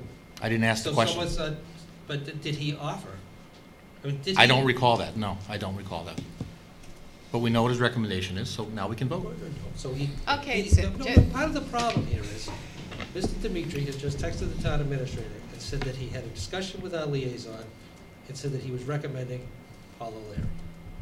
Our liaison is saying he didn't have the discussion with the chair and that Mr. Dimitri did not recommend. No, no, I, ma- I did that's have. not, it- no, you not know true. what? No, no, no, that's No? not what he said. What- what did He could said you he the text didn't, message? That's not what I said said. he That's not what he did not ask him for a recommendation. That was pretty clear. He told me Paul and So- himself were seeking reappointment. So- That was pretty much the tenor of our conversation, and I complimented him on how he's handled the 40B procedure so far. That was the whole gist of our conversation, was, it was not that long. Okay, so we have, okay, so now we have a situation that Mr. O'Leary explained, where we have the liaison recommendation, which is for Mr. Dimitri and Mr. Br- is it Mr. Breen. And a di- a difference of the chair, obviously assuming he's recommending himself, and Mr. O'Leary. Yep. So, so Um, now, we don't need to table, because we've heard from via text and, Well, I've also received a text from Jim who said that he did talk to Andy two weeks ago and recommended Paul. Just telling you what he just told me, and you can read what I just, he just sent me a text saying this, so. Um, And he's tried to call my number too, but I couldn't pick up the phone while I'm in a meeting. Mhm. I did speak with Mr. Dimitri. So, so I, I- I think, I, I think Mr. Wallner's suggestion uh, would, would be a good compromise at this point, which is to appoint Mr. Dimitri this evening. And at our next meeting, have Mr. Dimitri come in here and make his case. And If Mr. O'Leary wants to come, and Mr. Breen wants to come, and we can interview the candidates. And, Since when have a we ever done that? Well, since this is the first time that this has occurred, never. Okay, well, You know, I'm- I think we're ready to, we because, have a you know, motion with a vote. Apparently, you- It's you've time to vote. decided not to to circumvent the system the way that it's worked for. Steve, you're out of order. I'm I'm out of order? You're out of Okay, order for well- accusing me of All right, something I every, did not do. let's, let's Yeah. stop, let's stop this. So I'm not, uh, I, I'm not, I'm not sure what your motion is, Mr. Wallner. Your motion is to table and appoint. So that's what I think the, I think the motion came across. We've had a motion to table the vote. That motion failed, but now you're basically asserting a motion to, we To- Affirm Jim. We affirm Jim. appoint and table. Yeah, So, And then, yes, One appointment. Okay, One so- appointment, One Table appointment. second. so do I? do we have more So, information? so I have a motion to appoint and table, I guess is what we'll call that one. Do I have a second? Second. I have a motion to appoint and table and a second by Mr. O'Leary. All those in favor? Aye. All those opposed? No. No. What do we, what do, what's your vote, Ms. I Gonzalez? said aye. So three in favor of appointing? You were in favor of oh. appointing and Okay, table or I no? become Yeah. confused. Yeah. Can we repeat that whole? Oh, can we because repeat you're that? writing it down. Yeah, I was is trying to motion. write the motion down. Mr. To Wallner appoint, made a motion to to appoint Mr. Dimitri. appoint one position, the current chair, and And to table. table the appointment of the second open position for, Reconsideration in the future, when we have more information. For our next meeting. Because there's, Um, there's disagreement between the liaison and the chair, even about the circumstances that have occurred, so I'm hearing. okay. So Mr. O'Leary seconded that motion. So Mr. O'Leary and Mr. Wallner voted in favor of the motion to split the vote, table and vote. And Mr. Schultz and I voted against that vote, so you're the only one left. I don't know what you voted, I couldn't hear you. I- I didn't, I, I was writing, so I didn't even understand. I was It's trying a to good one. understand I it. hope, Jane, you got all of that, too. I know, poor Jane. Um, so, no, I, I think we should take the vote So you are not voting in favor of that motion? of that motion. Okay. So that, okay, so that motion is, Fails, fails. Three to two. three to two. Okay, so now we're gonna take, okay, I don't know what we're doing now, so. So now we're gonna. I'll take wait the- for another motion. Well, there's a mo, there's a roll call, there's a A motion roll for a roll call. call vote. Still have Okay, it. so we're reverting back to the original motion. So now the original motion to appoint two positions to two openings. There's four candidates. Mr. Dimitri presumably recommends himself and Mr. O'Leary. The liaison is recommending Mr. Breen and Mr. Dimitri. Okay, so this is a roll call name vote. Mr. O'Leary. Is there discussion? Excuse me, I'm sorry. Yes. Was there a second to that, actually? There was a second to that motion. Yes, yeah. Uh, Mr. Wallner.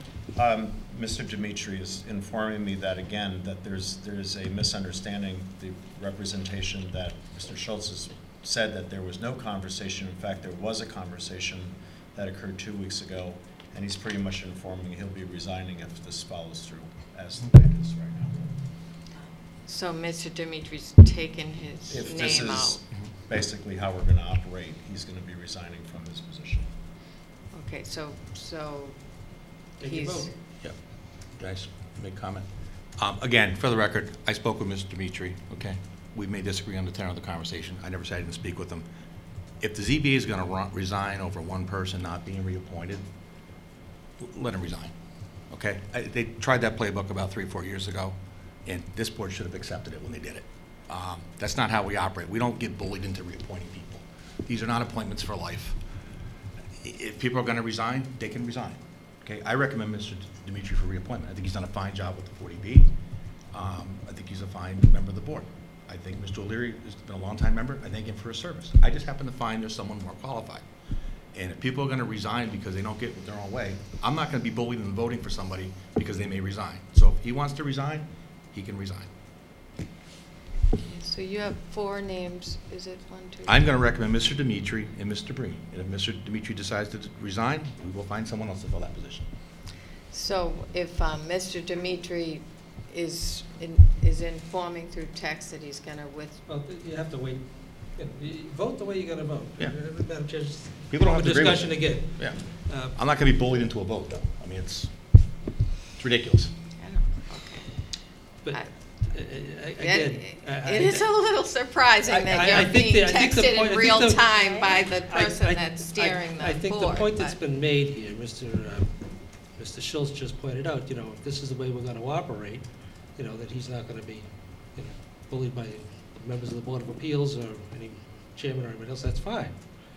Uh, But I think Mr. Dimitri's text to Mr. Wallner is quite clear too. If this is the way we're going to operate, Right. they're not going to participate. And again, the way that this has been handled is very unorthodox and uh, unusual, and to my recollection, I don't ever recall it occurring this way. As I stated earlier, if there was going to be a recommendation different than the chair of a board, committee, or commission, it's been stated right up front, it's been known up front, it's been shared. And then each member of this board has been, had the opportunity to confer and then make an informed decision, and nobody was surprised by a motion or a recommendation that was made at the night of the meeting. And this is what's occurred this evening. So, you know, to Mr. Dimitri's credit, and I have no doubt that what he said to Mr. Wallner is true, that's a choice that he has to make along with other members of the, of the Board of Appeals. Uh, But that's unfortunate, because what's driving the wedge between this board and our appointees is the way this has been handled. It's, it's not necessarily the recommendation. Again, Mr. Schultz has every right to make the recommendation that he thinks is in the best interest of the, of the board and our appointing authority. But it's been mishandled, and that's unfortunate. And these people are volunteers. You get someone who's a 28-year incumbent, who has not been informed by the liaison. Whenever I recommended someone other than an incumbent, no incumbent was ever surprised by my recommendation. I informed them up front that I was not going to be recommending them. I have a question to you. Did you tell Mr. O'Leary that you were not going to recommend him? Did you tell him that?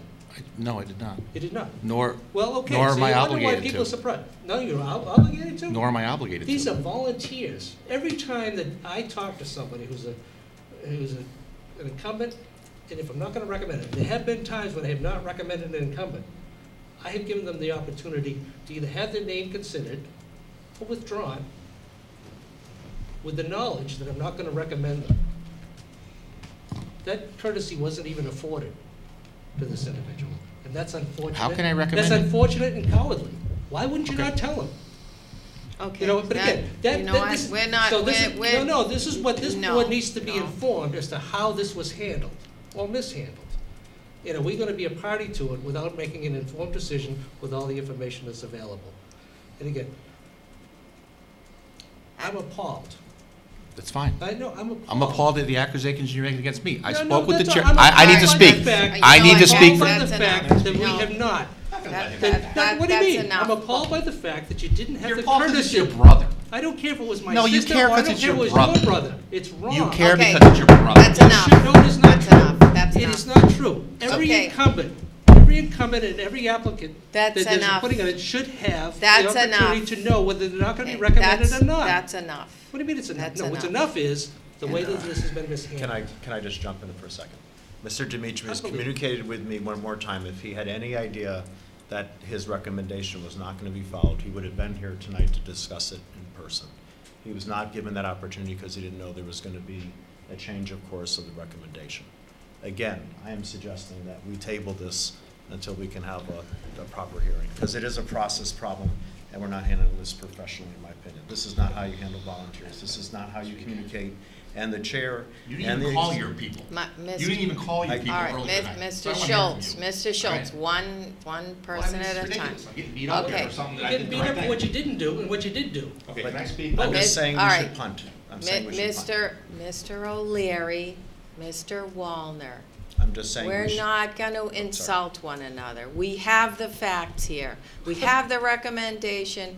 We have Mr. Dimitri's, I I guess, statement of resignation. I'm not sure. So that's what he wants. He wants to continue serving with Mr. O'Leary. He's made that clear. So that is very clear. Those are the facts. We're not getting anywhere arguing about this. We know what Mr. Dimitri wants, and if he doesn't get it, he's going to resign. That's what you're Just- just- conveying, he's just to- texting Just to to you. clear it up, he's not, yes, he recommended Mr. O'Leary. What he's complaining about, what he's stating is that. He's going to he- resign being- if Mr. he's O'Leary, that's no, what he said. He is surprised at what is transpiring right now, where the recommendation is here, based on a conversation he had with his liaison two weeks ago. So that is not the impression he was left with two weeks ago. And what he's saying is if I had known that it was going to be a, a conflict of recommendation, he would have been here to speak up for his recommendation. But right now, we're only hearing from one, not the other, and unfortunately, I'm hearing it through text. So he's not saying I'm, I'm leaving because it's not Mr. O'Leary. He's, he's saying, I don't agree with the process and how we're handling this, and if we're gonna play that way, he doesn't wanna play with us to do that. And that's, that's, that's a different, different than what you just said. And he'd like to be here to speak up for himself. I speak for myself. This is a spectacle right now. You're Which creating, you I need create- to, s- I need to speak with you being quiet. Mi- Are you Mis- capable of being quiet for a Mr. minute? Schultz, Mr. Schultz, Okay. please, direct try. your comments this, through try. the, Well, through the I- chair, I'm being please. shouted down here. This is turning into a spectacle with the two gentlemen to my left. We're gonna bring in Mr. Dimitri and Mr. Paul Leary and make it more of a spectacle two weeks from now? No, thank you. Okay? I made my recommendations. People don't have to agree with me. That's right. I'm up for reelection in May. People can vote me out if they don't like me. Okay? That's why we have elections. Elections matter. Elections come with people that get votes. this is all the more reason why I stand behind my recommendations. What has just transpired for the last 15 minutes? And again, for the tenth time, I spoke with Mr. O'Leary a couple of weeks ago, excuse me, with Mr. Dimitri, and Mr. O'Leary, but with Mr. Dimitri a couple of weeks ago. He told me that both he and Paul were seeking reappointment. That was the extent of the conversation. He also asked, do you think I'll be okay? And I said, I can't discuss that over the phone, we have an open meeting, but I appreciate everything you've done with the 40B. That was the whole, whole of the conversation. It was very short, okay? Period, end of sentence, okay? I, Mr. O, Steve O'Leary is carrying the water for his brother Paul O'Leary. That's what this is all about right now. Okay, they don't like my recommendation. That's fine. You guys may not like my recommendation. There's five people. Three have to vote with me. If you don't vote with me, you don't, I don't take it personal. We move on. But the personal attacks come from somebody who's been on this board for 30 years, who claims all these policies that don't exist. They're Steve O'Leary policies. They're not board policies. Right. I've Okay. seen no written right. policies. No, I need to, to speak. Stick to the facts. I've seen no written policies saying I've done anything wrong. I've contacted the liaisons. I got a gentleman to the left of me here, Mr. Wallner, didn't even call his people. Maybe he didn't know he's new, okay? So I really have a hard time with what I'm dealing with right here, when I'm just trying to do the right thing. Again, I'm up for reelection. If people don't like me, pull papers and vote me out. All right, But I stand behind my recommendations. okay, this really has nothing to do with elections. All it has to do with is we're appointing to the board this evening, just like we are appointing to others. We've heard from the liaison, we've heard from the chair, who wants a different uh, appointment. Um, But in my experience here with this board, we go with the liaison recommendation. That doesn't mean that you have to vote with the liaison recommendation. And I, or that the liaison even has to adhere to the chair's recommendation. I've only experienced that once since I first started here. But other than that, we typically go with the liaison recommendation. However, it's five votes, five votes for two positions. You vote the way that you want to vote.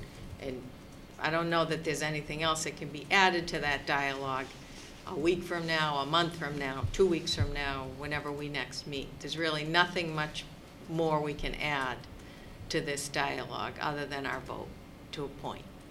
And I'm not in favor of tabling something where we have an active, pretty, pretty active board and a pretty significant matter that Mr. Dimitri, Mr. Dimitri has been carrying the pails for, for us for, for the whole entire time, and serving as the chair for the whole entire time, so The 40B. that would be absolutely, Which that's, Mr. that's. Paul O'Leary took a powder on, didn't even show up. I, he hasn't even publicly mm. recused himself. All right, I have no let's, idea what he did with let's that. just, keep- let's just stick to the, stick to the business at hand here, okay? We're, there's nothing more we can add to this dialogue unless there's anything else.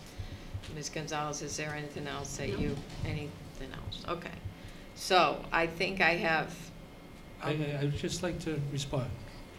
First of all, I don't carry anybody's water, my brother doesn't need his water be carried, you know, and, and again, what it comes down. I, I said carry the water No, of the no, no, no, Mr., 40B. no, not you. No. I don't think that's, that I was. said He that. he did say Oh, that, he did oh. I'll say say that. it again. All right. And again. I you picked know, up that And, and then. I don't make up the policies, and it's not Steve O'Leary's policies, and again, the policies and procedures and the, and the historical uh, uh, methodologies as to how this board is operated was long before I was here, and it'll be long after I'm gone. Uh, So I don't make them up. And again, in all the years that I've sat here, I've never seen, and I agree, it's a spectacle. A spectacle created by our liaison here, by not, again, allowing the recommendation of the, of the chair of the board committee and commission to be heard by the rest of the members who have to vote, make an informed decision. You know, we've, we've heard from the chair that if you were provided the opportunity, and he knew that the liaison's recommendation was gonna be different than his, he would have been present to inform the rest of us as to why there's a difference of opinion. And he hasn't been afforded that, and that's unfortunate. So the spectacle that's been created here this evening is not by Mr. Dimitri, not by Mr. O'Leary, who's looking to be reappointed to 28 years. You know, it's been a a liaison and how he's handled it and mishandled it. So again, I'm not carrying anybody's water for a volunteer position who's given up hundreds and hundreds, if not thousands of hours here. Doesn't need to be done. So, again, I would recommend that this board handle it properly. How you choose to do it is entirely up to you. Can I move to vote. Okay, so we have, I, So again, I, I just question my colleagues again. Are, are we? I'm okay? not sure Is- what's- Is the majority Mi- still mi- okay, is the majority still okay with moving forward? Or do you want to wait one more meeting? I'd like to move to a And do it vote. right. I'm not, I'm not sure what I'll the, second. what the vote is. Okay, so we have a mo- move to a vote, but what was the vote?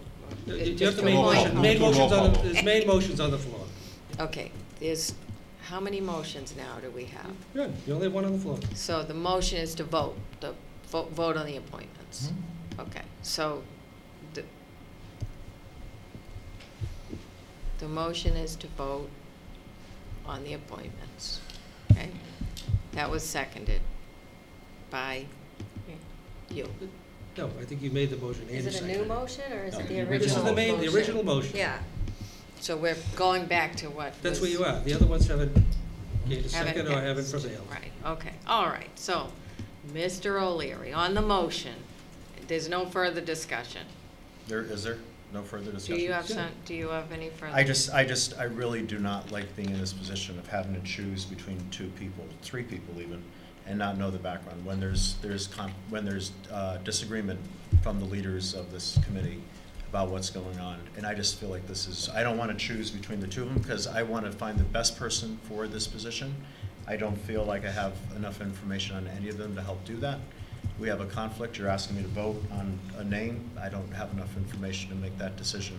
I don't care how we got here, I just think this is right now not a good situation, and I'm not very comfortable with this at all. And I really want to table this. Okay, so Mr., okay, Mr. Wallner wants to table it, Mr. and Mr. Can I just, can I? Ms. Gonzalez, sure. Um, I don't know if um, Mr. Wallner knows that there is a citizens' activity form for Mr. Breen here, that if we could take a moment and he could read it, I don't know. It It's gives a very lot of detailed. information, it's very detailed. Sure, we'll take a brief, a brief recess so you can take a look at that. You may already have read that, but it was in our, it was in the, the citizen activity forms, and I think he actually gave a little bit more detail of his, I'll move for a five-minute recess. Okay. well, I, I mean, I'm just gonna call a recess, I don't think you need to move, move for a recess. All right, did you wanna look at that? Yeah, wh- wh- whatever we have. It's in wanna your see. It's in your packet. packet, it's. I, I did look through my packet, but I didn't spend time on that. So both Mr. O'Leary's and, It's one hundred. Uh, Mr. Breen's is in there, I don't know. that- Is it only Mr. Mr. O'Leary's Just- citizen information form. Mr. Mr. Breen's is in there because he was a new, new Right. applicant. The one that's on file is not necessarily in there with the other applicants. is, is Mr. O'Leary's? Mr. Dimitri's isn't in there, Mr. O'Leary's is not in there. O'Leary's and Mr. Dimitri's, just the one page, just, we want And reappointment. Not everybody. But I think we know um, Mr. O'Leary's background. I don't, I don't. I really don't know his background. Would you want to look at Mr. Breen's or not? I, I, I want to look at Mr. Greenspan, I'm like, it's not valid for me to make a vote without looking at Mr. O'Leary's at the same time. I don't know if, I Or, don't uh, think I saw anything from him. Or Kerry Antonucci. So, And- and Again, Her he's a there as well. reappoint, he's a reappointee, so it's to what- seek reappointment, yes or no? Yes. That's all we do, that's all we require of our current incumbents, is to check off yes. Right. There's no other. So new applicants give you a more detailed mhm, background information on themselves, because they're introducing themselves to you, Mm-hmm. as opposed to someone who's been serving for a number of years. mhm. At least Which three would be an incumbent, we or more. get to know them in the context of their work, too. There's, there's a reason why Mr. Dimitri has made a recommendation. I'd like to hear it. I mean, you made your recommendation and you gave some background. It's compelling. He's not the appointing authority. He's recommending his good All friend. so we're not, we, we took a recess not to argue, it Okay. was to give Mr. Wallner the opportunity to read, read this stuff, so. Okay. What page is this on, please? I think it's 87 is uh, the citizen activity form. Eighty-seven, you said? 87 for the citizen activity form, and then there's a, I believe, a two-page letter beginning on page 100.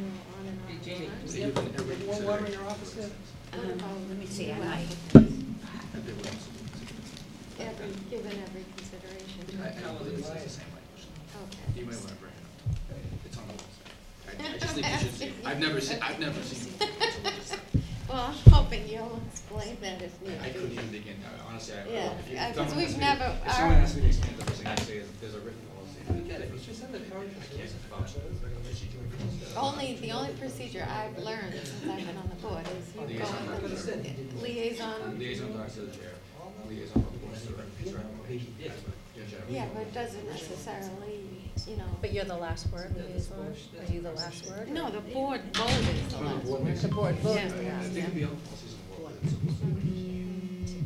What that means now. Yeah, So, That's the. thank you. Jay, did you get those things for Mariana? I didn't make Yeah, I it. went- I, I didn't make it to the conference. It's- There may be personal information that you should not publish. Oh, but- redact. I'm not gonna put in someone's if I can phone text. number, email, social security number, firstborn You child. you know the drill. I'll be right back. He's the member, well, he's the other member of the Board of Appeals. Um, I tell you, So it should be a, a form, and then it should be. Huh? No one has to bring. Right. And this is the letter. It might be much, much of the same You're not a information. long-standing member of the Board of Okay, Appeals. thanks. Just text me.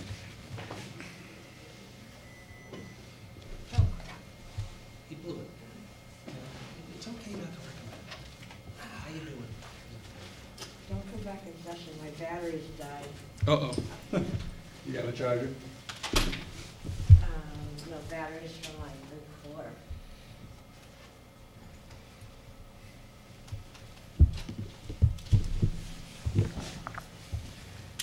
This is bad actors. It's, it's it's cowardly, you know, it's, it's okay to have your political differences and you wanna hear it, that's fine, but there are ways to handle it. And show some courage, tell the person, you're not gonna recommend him, you know, tell the chair, you're not gonna recommend his recommendation. It's it's not a big deal.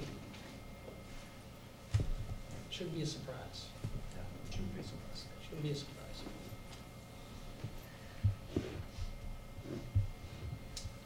It's actually a disservice to the person he's recommending. Huh? It's a disservice to the person he's recommending, because I don't care how qualified he is, I can't, I can't even look at it. Oh, Guess I'm gonna go with people who've served. I'm always gonna go with this. You need a reason not to. Oh, crap. You need a reason not to. And again, I've had, I was moderator, there were members of the finance committee I didn't really appoint. There was a chairman, but I didn't appoint. Got this guy does not. Seriously?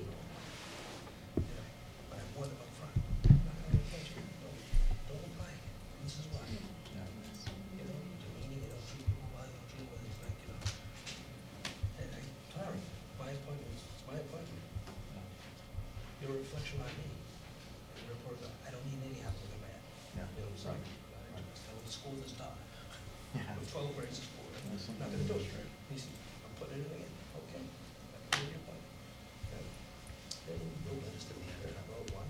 Nelson, how many times you get one shot? Okay, it's my shot. Take your shot, it's my shot. So minor changes. What were you meaning out so close? I've never seen. Fritos. Honey barbecue Fritos. What puts us in a very difficult situation? Honey barbecue you Fritos. get I did, yeah. Puts us in a situation. But it's the wrong- Yeah, she's like, that's what- gross. Don't you want something with some substance to get you Just- started eating? She said to me, like, you just call my food gross. She said, yes. So you didn't have dinner? No, Jim, Jim has never had that. Live bone in his body. Body. I had leftovers from, uh, Emery and I went to South twice and Andover to Kodesh. Yeah, yeah, I've been once actually. They have group ones all the time.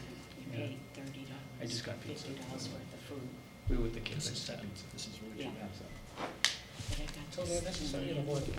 my But again, cookies. e- e- even if his recommendation is gonna be what it And I was. had it avoid it. left over tonight. We had kitties uh, on Saturday at my parents' house. You brought it. Yeah, I brought it over. And I had the leftover yesterday. I've only eaten my kitties once. Huh? Are we on?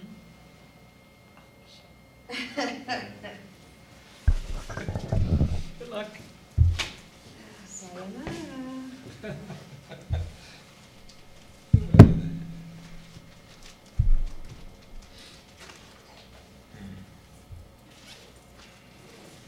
Oh, good, yeah, they are.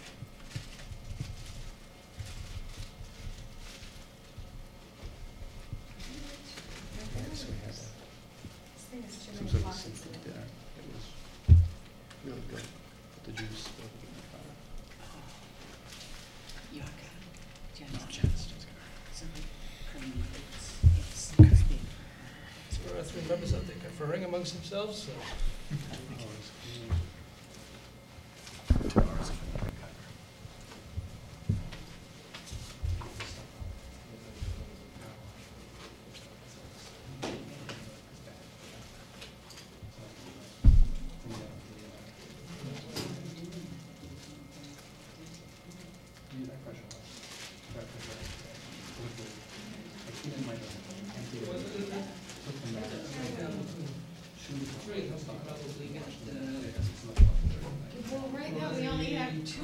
60, 60 to 70 years worth of experience. Right. Walking away. Does anyone have any double A batteries? Triple A batteries? Uh, yeah. Anybody got any double A or triple A batteries? Uh, Steve, Steve, people are texting me right now about what you're saying to me over hot like over TV right now. Good.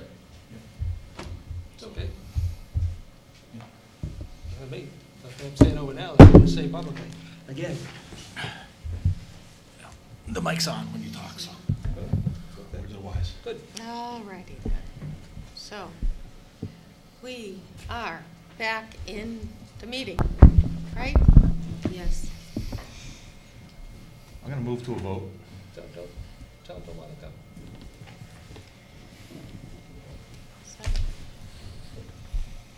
Okay, so we have, I don't need to go over it. Everyone knows what the posture is at this point.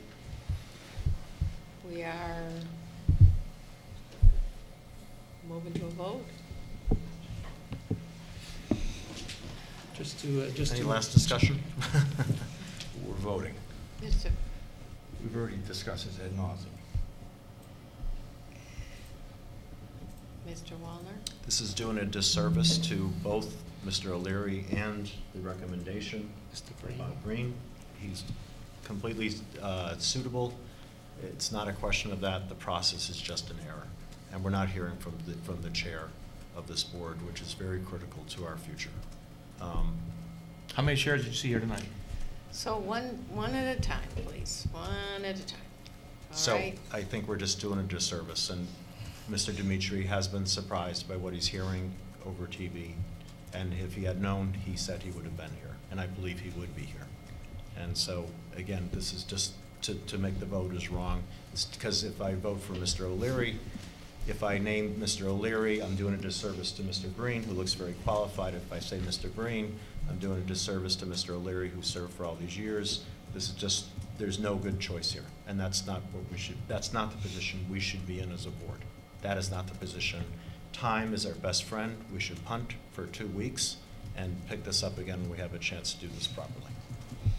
Okay, so I know That's my that- discussion. Yeah, I understand, and I know you made a motion to table, but that motion did I understand. not pass. Yep. So, For the record, if I may just add one quick thing.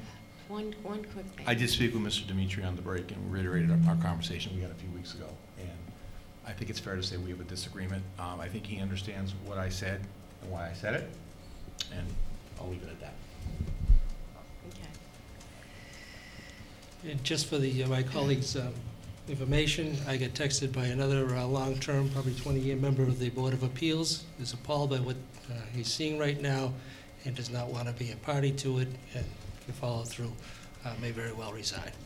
So we're going to be looking, we'll have plenty of vacancies, if that's what you're looking to accomplish. uh, This is what they did four well years done, ago. Well done. Yeah. All right, let's not, But let's keep to the vote at hand. Let's not be insulting to one another. There is a difference of opinion. That's no what we problem with have the here. difference of opinion. That's what No we problem. have here. Uh, We have a little bit more than that. Total mishandling of the situation, total disregard for people who volunteers for this community and how they're handled. That's what we have in front of us. It's okay to have differences of opinion.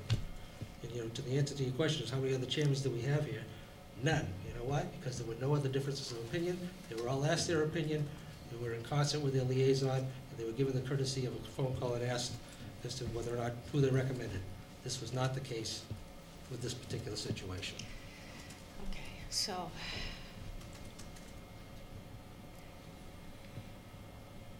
I have to say, I don't ever recall seeing a chair, chair person here during a board appointment. So ultimately, the ultimate decision-making over this falls with this board. Some of these decisions are easy, some of these decisions aren't easy. But ultimately, it's our responsibility t- to take a vote, make an appointment. And so uh, I think that's where we're at.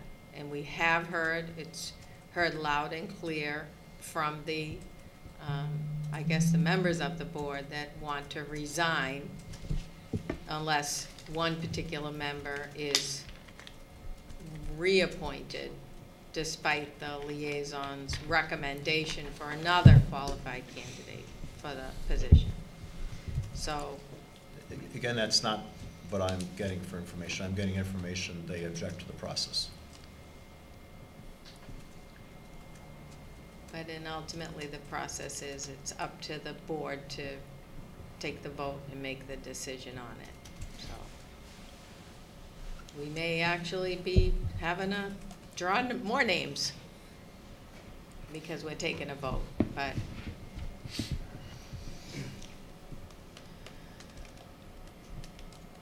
That's a fact of, fa- fact of the things that we do. I, I actually have an off-the-board hand up in the background there.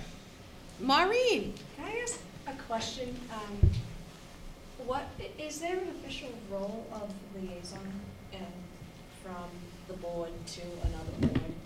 Um, Just as, uh, to educate me, as, i- in my experience, I had always thought that it was uh, like a, almost a clerk's role, where you would come back um, with information from what the board is doing, um, what's, what's, what's new, what projects have come up, that, that sort of thing. I had, I, I- is there an expanded definition of a liaison that gets appointed?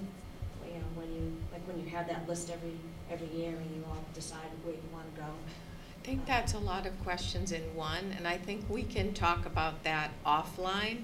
I think we have a motion on the floor and we, we have a second to the motion, so we have to address that first.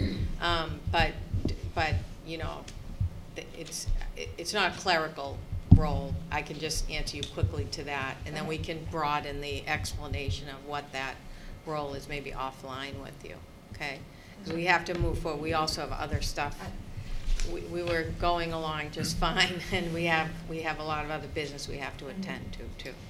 Okay, so, now, there's a motion on the floor. There's a motion on the floor. There are four names in nomination. There are uh, request of the current chair on nominations, and there is the liaison's recommendation on nominations. So let's call the vote. It's a roll call vote. Mr. O'Leary. I'll defer at the moment, please. Defer. Is that, so deferring is I'm a, Deferring until deferring until, everyone else has voted. okay, so deferral uh, renders your vote together with the majority under the rule. What is that?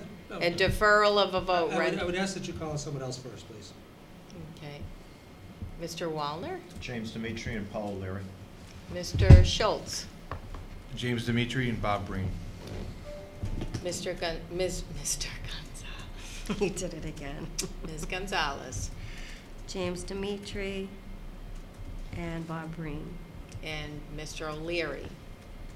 Again, I will ask to uh, defer at this point until the chair votes. Okay, so the chair votes James Dimitri and Bob Breen and Mr. O'Leary. Uh, Mr. Dimitri and Paul O'Leary. Okay, so we have, we have to move on. Next order of business. Just as a matter of comment, Madam Chair, I think it's unfortunate, it happens to be my brother, but whether it be my brother or uh, someone else's brother or sister, I think it's unfortunate that an incumbent uh, member, or 28-year member incumbent of any board, committee, or commission uh, was not extended the courtesy of a recommendation, uh, or what the recommenda- recommendation was going to be of the liaison uh, to the board. I think it was a cowardly act, and I think it's Stop unfortunate. insulting me. All right. Well, I'm We sorry, don't you've insult other insulted every- menus. I'll insult All you right, because you you've know insulted what? everybody That's else. enough. And every It's board, enough. committee, or commission that you're a Mr. liaison. O'Leary, Can you carry your Mr. brother's O'Leary, water Mr. in your water? Again, he's That's Carry your enough. brother's water. 61 Carry All your right, brother's water. that's Carry your enough. brother's water. That's That's enough. you We're, do. we're moving Enough. along. He's 61 We years voted. old, and he Move on. doesn't All right, maybe that's carry enough. his water. That's enough. All right. That's I have enough. never seen. Okay. That's all my enough. years, All and I've- okay, I have Steve, yeah, served with Steve. almost 30 I'm gonna keep people. talking over to you shut up. Mr. All right. I'll talk over you all Okay. night if I have All to, right, Steve. That's enough, Steve, I'll keep guys. talking over to you Guys, shut we're up. on- We're gonna take a brief recess. Thank I've That's served with enough, almost 30 guys. different people, and No, never. Steve, have I I seen said That's- keep talking that's- over cowardly you until you don't shut up. Andy, So it's unfortunate. Mr. Schultz, come on, come on. Unbelievable. recess, you said? Unbelievable. We're taking a five-minute Yes, recess? Thank you. yes, a five-minute Done recess. a terrible disservice to this All right, community Mi- and to Mr. the board. O'Leary. Steve, carry Terrible his water a little more, disservice. Steve. So- Steve, carry his Terrible water a little disservice. more, Steve. Keep Steve, yelling. carry his water a Be, little more. be more childish. It's and- your brother, Steve. Be We know it's your childish brother. and walk out of the room, Mr. All Schultz. right, Continue. let's, let's, let's stop this, really. Yep.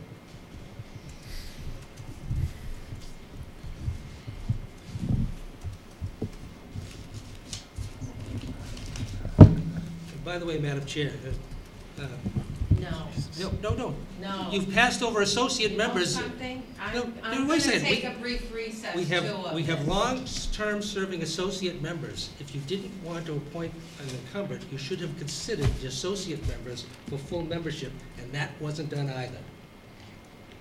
Mr. O'Leary, Yes, Madam Chair. we're done with the vote. I understand, but you understand, Done with the I don't even see the, I don't even see the associate members' names for consideration for full appointment.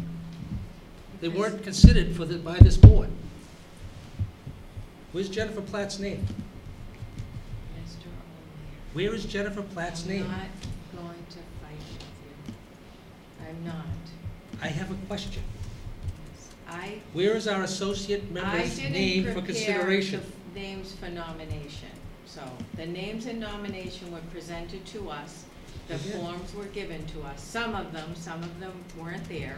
Again, I was liaison to the Conservation Commission. Two associate members' names were left off for consideration. I asked the clerk to include them for consideration of the board, just this evening.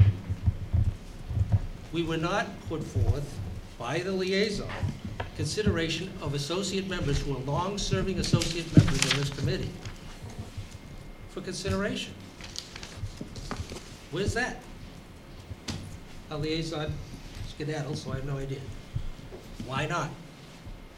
By the way, uh, one of our associate members is a long-term serving member who's also an attorney, has been there for probably a dozen years. Jennifer Platt. Not even considered, because the liaison didn't put it forward. Why?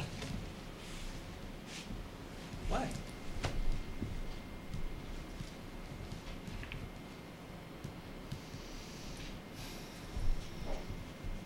When he comes back, maybe we can ask. No, we're not gonna No, we're not gonna ask why the associate No. members weren't considered for full membership? No, we are not going to consider. Why The would- names in nomination As were a, the as names a in member of the nomination. board, why wouldn't you wanna consider the associate member? Steve, I'm not gonna talk about this. You with don't want to? I don't. I Oh. don't. The likelihood is we're gonna have to consider associate members in the next meeting because of Why the wouldn't they mass be considered exodus of the now? other members. Why wouldn't they be considered now? He should know who the associate members are. Those names weren't in nomination. Because he didn't put it forward. I, my names of my associates were not put forward for Conservation Commission appointment. I put them forward and asked the clerk to include them, because I know my liaison assignments. I know my boards, committees, and commissions. And the board can make an informed decision based on everybody who's eligible. And the first ones who should be eligible, the one who's been putting in the time and the effort and the hundreds of hours as an associate member, and one who's sitting in on a, on the forty B hearing right now, isn't even been considered for full membership. You're gonna be forced, if there's resignations, to maybe consider that, if she still wants to be considered. Why, I don't know. Why anybody want to be considered for anything at this particular point, I do not know. Um, This is one of the outstanding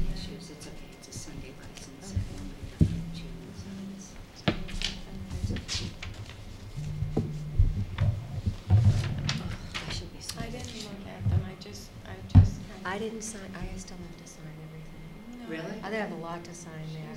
No, it's another Sunday license. They're in there for everything. Am I? Yeah. These are just, yeah, I can mm. flip through these ones, so if you have another. No,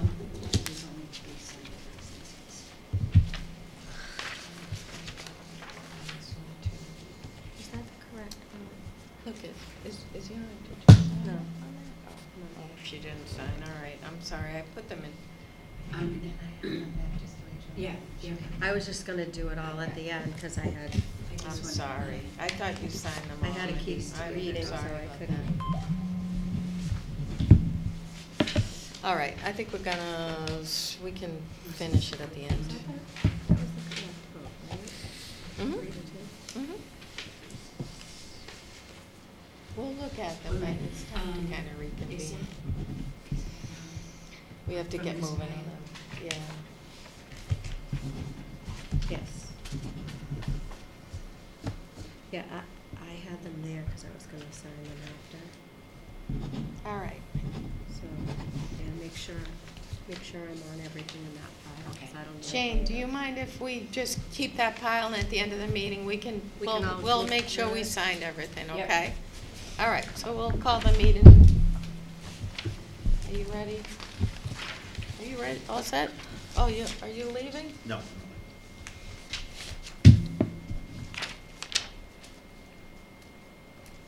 Yeah. Thank you. Thanks, Jane. Okay. Let's call the meeting back to order. In our next, we're, we're I through don't with have all of anything our else. licenses and appointments. Our Yeah. next order of business is water, Water wastewater planning advisory committee, review of the charge. Mr. Gilleberto. Madam Chair, as a follow-up to the conversation that took place at the board's last meeting, um, I've provided a copy of the Water and Wastewater Planning Committee, Planning Advisory Committee's charge as approved, I believe, in 2010. Um, This would effectively be the uh, committee that, that we discussed it has not necessarily been active, Um, so I I put the, uh, the charge there for the board's review and, you know, possible consideration. And Mr. Gilleberto, how many members are on this committee? Or believe- have been on it in I the believe- past? I believe it's a, um, a seven-member uh, committee. I'll check with the town clerk's online information system to confirm.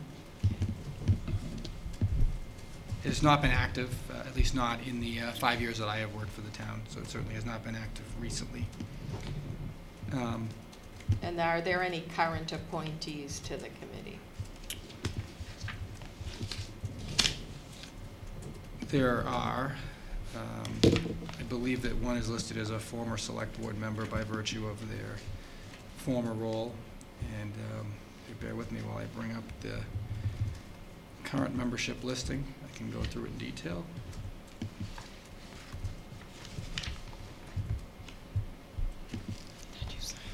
So I'm showing a seven-member committee with three positions currently filled, although one is uh, identified as a select board representative, who I mentioned in the last meeting is no longer a select board um, representative. So just to go over the membership, there's a listed uh, DPW representative, health representative, uh, what I would call a- an at-large term, uh, two select board representative, one of which is listed as being held by Mr. Misery, a CPC representative listed as being held by Warren Pierce Jr., and then what it looks like an at-large position held by Luke Roy. Luke Roy. So three of the seven seats are filled, but one of them is, is incorrectly identified as the person's no longer a board member.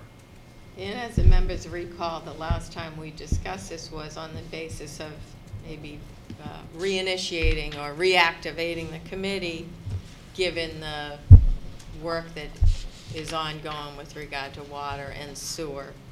Um, So I think uh, town administrator wanted us to take a look at this on the docket this evening for any kind of further commentary of the members to see if we needed to modify or revise the charge of the committee. So um, it's in, on page 111 in the share folder. Mhm.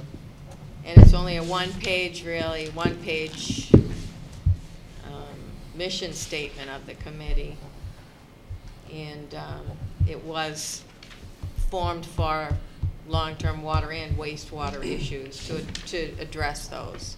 And if the members recall, the last um, discussion was maybe we wait, maybe we reactivate it now so that the, maybe we can consider appointments to that committee and newer members can, you know, get up to speed with respect to the, you know, the, what's going on with both of those issues at the moment. So we've had an ongoing waste, wastewater update and water update every, every meeting so far, just so that the board members can be apprised as to what the status is of permitting, you know, facilities and things of that nature. So um, if the members have had a chance to take a look at the um, mission, does anyone have any further? Mr. Wallner? Yeah, um, obviously it includes water, which is almost becoming a non-issue at this point, so a lot of that will need to go away. And the, um, the function, the mission, that paragraph is very, uh, it's very broad in my mind. It's, it's almost too much, and we already have another group that's already doing a lot of this effort. So it, it- it's just, the- the scope of it has to be redefined from, to work with the current group that we already have working on this, um, in my mind. Just when I looked at this briefly, that's, those are the two biggest things I picked up on. Yes.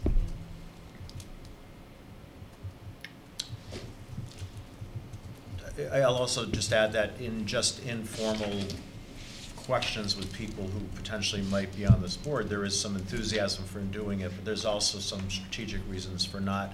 It'd be good to, it's not a bad idea to form it or to create it or to prepare for it, but it feels premature for where we are in the process right now.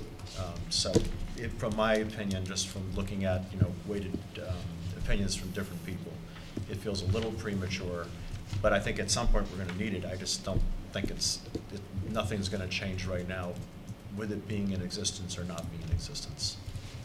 Just my view. Uh, Quick question for you, Mr. Gilleberto. Th- This board came up with the mission statement of this committee, or did the committee itself come up with its mission statement? I I believe that there is a, a vote of this board approving the establishment of the committee, including this charge. Um, The, the origin of it prior to that in 2010, I, I- I have to only assume it came from the select board, but I don't know that to be fact. All right. Anybody else have any comment, comment on it, or discussion? Mr. O'Leary? My comments are the same as they were at the last meeting. We talked about for reformulating this again. Again, I, I too believe it's, it's premature. Um, Until uh, we get a clearer direction as to um, functionality of of implementing any type of wastewater treatment through Andover and Greater Lawrence Sewer, uh, and the associated costs with it, and whether, until this board makes a determination as to how to uh, implement it, whether it be through phasing or one fell swoop, I think it's, I think it's premature. So it's, uh, again, we- we could use all the help we can get once we know what direction we're going in and what the timelines are going to be. But until then, there isn't going to be much for them to do. And I think injecting um, more people and taking more of their time unnecessarily as we move forward, because we are moving forward, moving forward rather quickly. Um, Until we know what direction we're going in and this board has made a determination as to what direct, that direction is going to be, I don't think we need the help yet.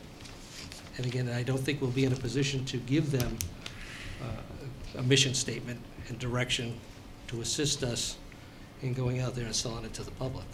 So I, I just think, you know, we have a, a good working group right now uh, through the administration and uh, professional staff, along with liaisons from this, this board to, along with our consultants, to find out what, what direction are we really going to take and how, how are we going to, to do it? You know, and the relationships with the, with Andover and Greater Lawrence Sewer District, that can only be handled through the administration and this board. So until those things are ironed out, I think it's premature. So I, I don't think it's critical at this point. I don't think we should be necessarily asking for volunteers when there isn't gonna be much for them to do, meaningfully do, um, for a while down the road. Um, Mr. O'Leary? I mean, I'm Mr. Schultz. Easy to I'm say. looking right at you, and Um, the I ED wasn't sure if Mr. O'Leary was finished. No problem. The EDC just did an economic business forum at- at Kitty's, oh, probably a month or so ago, and we spoke with all the stakeholders and the businesses, pretty much they're around 28 in Concord Street, and we told them, we rolled out our plans for wastewater and some timelines. Um, I think, well, I do agree that there's not a whole lot this board is gonna, this committee's gonna do right now, but I, I think it should be formulated now. I think the stakeholders should have a stake in this. I think the business community should be involved in this. I think these boards, like our boards, change, these committees often don't. Um, I think this has to be pushed. I think this is only gonna get done, meaning wastewaters, if we push it with Andover, if we wait for Andover to do it for us, we're gonna be waiting a long time, and we're never gonna have it. So I think the, I think the business community, the stakeholders should have a committee, a grant, they may just meet quarterly for the first year or two. But I think this should be formed now, and, you know, keep it on the radar screen, keep public, uh, awareness of the wastewater products, uh, projects that are coming. I think it's a good idea, and um, I think it should, I know EDC is going to address this issue uh, of picking a committee member at their next meeting if this board was to be revitalized. And again, there's not a whole lot they would do right now, but I think they should meet, and I think the stakeholders should be heard on this issue. Is Anyone else? Just Wouldn't the, from- wouldn't, oh, wouldn't the chairs have to be renamed then if we're gonna do EDC and other, you know, private people? We have one, I just heard your chair, so I don't know, are they as pre-assigned or is it flexible? Well, it, it reads, the membership is, it reads as a combination of representatives from various elected and appointed boards, committees, and employees of the town of North Reading and a cross-section of North Reading, citizens of diverse interests. Membership shall be appointed by the Board of Selectmen, who shall make changes in the membership as necessary. Okay. It's not really a decision of each individual board or commission. I think where this can be modern, modernized or updated from the two thousand and ten time that it was initiated is that we, we have a permanent, so to speak, water supply. But I think that's pretty much the, the charge or the function of the board is sti- is still relevant to what's going on now and relevant to what is gonna be happening in the future, but certainly evaluating emergency water sources probably was done in terms of our connection Yeah. or maintaining the connection Right. and all the efforts that were done with maintaining the connection to Andover, but, um, and then redundancy efforts, I think, were considered throughout the course of that process. So I think Chair? that might be the only, that might be my only thought in terms of the board's making a modif, modern modification of the And function. I- and I would even go so far as to say, this is really a wastewater planning advisor. I don't think water needs to even be on here. I think that's, Yeah, it it's not part of the scope anymore. really. no, I think it's just a wastewater planning advisory. Yeah, committee. because I think we have liaisons that are right now handling the, the expansion of water, and we have the consultant, the expert working on that on a regular basis, so. Um, So I guess would we want to consider maybe offering our, it's the first time we're looking at this, and so maybe we can, by the next meeting, offer some suggestions on, I think it's intentionally vague to fit, fit whatever function the board needs the committee to fulfill, but do we want to make some, two, two of the members want to hold off on it. Um, Do we at least want to make some, you know, recommendations on? I, I don't think there's any problem, I mean, at some point, we're gonna need it, so I don't see any problem in creating the one-pager mission Mm. statement. It's just a question of when you, you know, implement it. So it's good to plan ahead, I have no problem planning ahead. I, I, Even if we don't flip the switch, it's good to plan ahead, so. Right, Mi- Mr. O'Leary? I'm sorry, Mr. Wallner, were you done? Yeah, I'm done. All right, Mr. O'Leary. The thing is, you know, when this was formed, you know, a lot of it was speculative, you know, what, what should we do, how should we go about it, what should we be doing? Um, This board and prior boards, most recent prior boards, have already made those determinations. You know, We have a long-term solution for water now. Uh, In that deal, we also got our supplier to agree to assist us in joining the Greater Lawrence Sewer District. So those determinations have already been made which is, again, if you look at, you know, required by planning, organizational, financial, operational, you know, how we gonna do, it, where we going, what are we gonna be doing, those decisions have already been made. We're not going MWRA. It's not an option for us. So our only option is now Greater Lawrence Sewer, and it's through Andover. Uh, We have, again, long-term water solutions now, and that's, that's pretty much a done deal. So, again, I don't, I don't see the purpose right now, you know, other than, you know, at some point, we're going to need uh, all hands on deck to go out and inform the electorate, town meeting and the electorate, um, to support a wastewater plan. So that's what we're gonna need and when we're gonna need it. But until we have those facts, this group is not gonna help us glean those facts. The process is already in place and the uh, individuals that are gonna be responsible are already in place and doing that work. So I don't get it. I, I, I don't understand right now. Right now, what we need is, once we have formulated our plan, and we know what it is going to be, that's the time to form some sort of a committee to assist us in going out there, to buy into the program, and then get out there and sell it to the public. Otherwise, there's no other work to be done.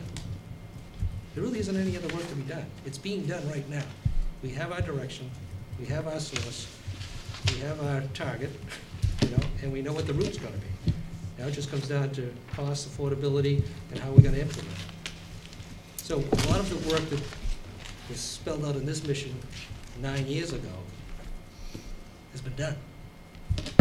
So I, I- again, I- I'm not one for turning people away and assisting us, but I think what they're gonna need to assist us in is buying into the plan that we finally formulate and uh, have to go out and tell the public.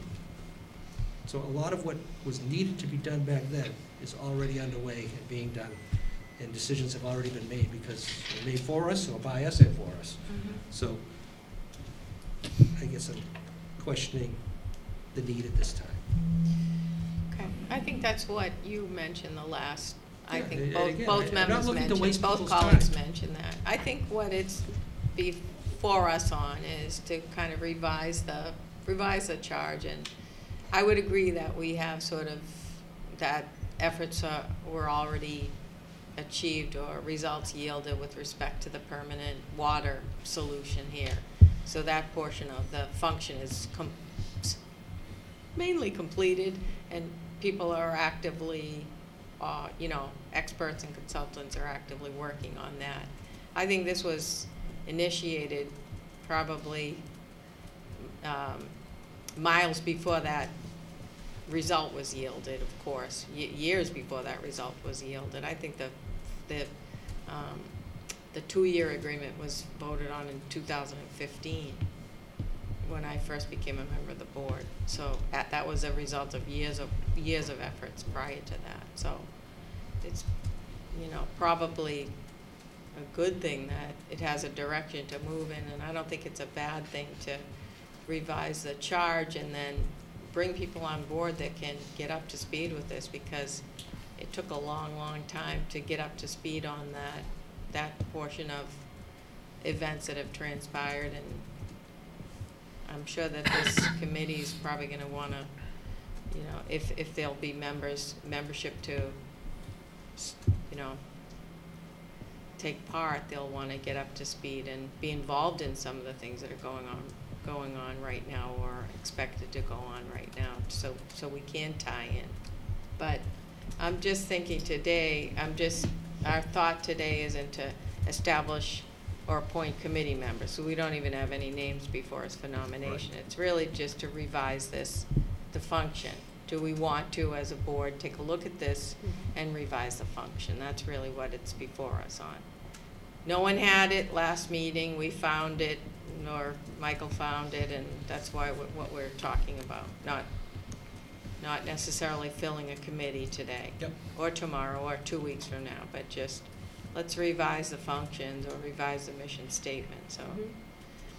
Well, maybe what we can do is agree that, you know, we'll, we'll take a look at it at the next meeting if, if there's, if people, if members want to send their comments directly to Mr. Gilleberto to add in, similar to what we're, what we did, what we did with the next thing that we're gonna be considering. And, uh, maybe we can work on more modernizing or, you know, re- revising this for the next meeting. All right, anybody else have any more comment or discussion or? No? All right, so next order of business will be the draft, review the draft of the unaccepted street improvement policy. And this is our second or third review of this, this second review of this mm-hmm. policy. And if the members recall, this really is a policy we're trying to put in place for sharing responsibility with, sharing responsibility with, uh, private ways that might want the, their street improved on, a one-time basis. Similar to betterments, although not, not the same because we're not gonna accept the street in the end of the improvement. So you can see from the policy, and I don't know if Michael, you, Mr. Gilleberto, you wanna highlight some of the changes, but you can see from the policy that's included in your Dropbox, um, that, um, I think we're on one, page one twelve, there's highlighted the areas that have been, that have been moder, moder, modified, right, revised. The modifications are, are, are few. What, what I really did was take the feedback that I heard at the board's discussion of this at the last meeting or the meeting prior and incorporate them. Um, and I added a couple of comments as well, just to provide some, some background. Um, I, I can go through them all if the board members would like. Um, there, are- there are a lot of them, obviously. Mhm. But, you know, in terms of, the- I guess what I'll do is I'll start with the changes. Um, the feedback was that, uh, the language in the, uh, third bullet was restrictive in requiring the fifty percent match, um, so I added the word generally, um, to give the board the flexibility. And then I also add in that same bullet that nothing in the policy shall preclude the select board with the approval of town meeting from entering into an agreement to provide more or less than fifty percent of the necessary funds, which I think is consistent with that word generally. Moving on, a couple of bullets down, the red writing, I think it's number five, excuse me, six, where I've added in here, budding property owners shall be required to contribute a combined total of fifty percent of the funding required to develop a reasonable cost estimate to be deposited into the appropriate town gift account. Any remaining balance after a cost estimate is developed shall be applied to the abutter's portion of the construction cost or refunded in the event construction is not approved by, um, at, by, or at either of the two subsequent town meetings. So that was intended to reflect feedback I heard in the board's discussion, which, um, described a desire to have, um, the abutting property owners contribute to the design. Now, they did not contribute to the feasibility and design work that was done for Swan Pond Road, so this would be different than what happened with Swan Pond Road. Uh, But I've added that language to reflect the discussion. Um, There was an inconsistency here on the first bullet on the next page, uh, where there was a reference to the majority of property owners residing on the private street. Representing a majority of all, of all the road frontage. Um, It's clear if we're gonna do a road improvement in this fashion, we need all of the property owners involved to sign off. We, we can't do it otherwise. So I've updated that to be correct. There was a desire to give a longer period of time for, for the abutting property owners to come up with the money, so I've increased that to hundred and eighty days, which I think what, is what was suggested at the last meeting. And then there was some discussion about the issue of the easements, uh, being recorded at the registry of deeds, so I added that language as well. So that sort of summarizes the, um, the changes from the board's last discussion. Um, I would also note, though, that I have talked with the town planner on a couple of occasions about this.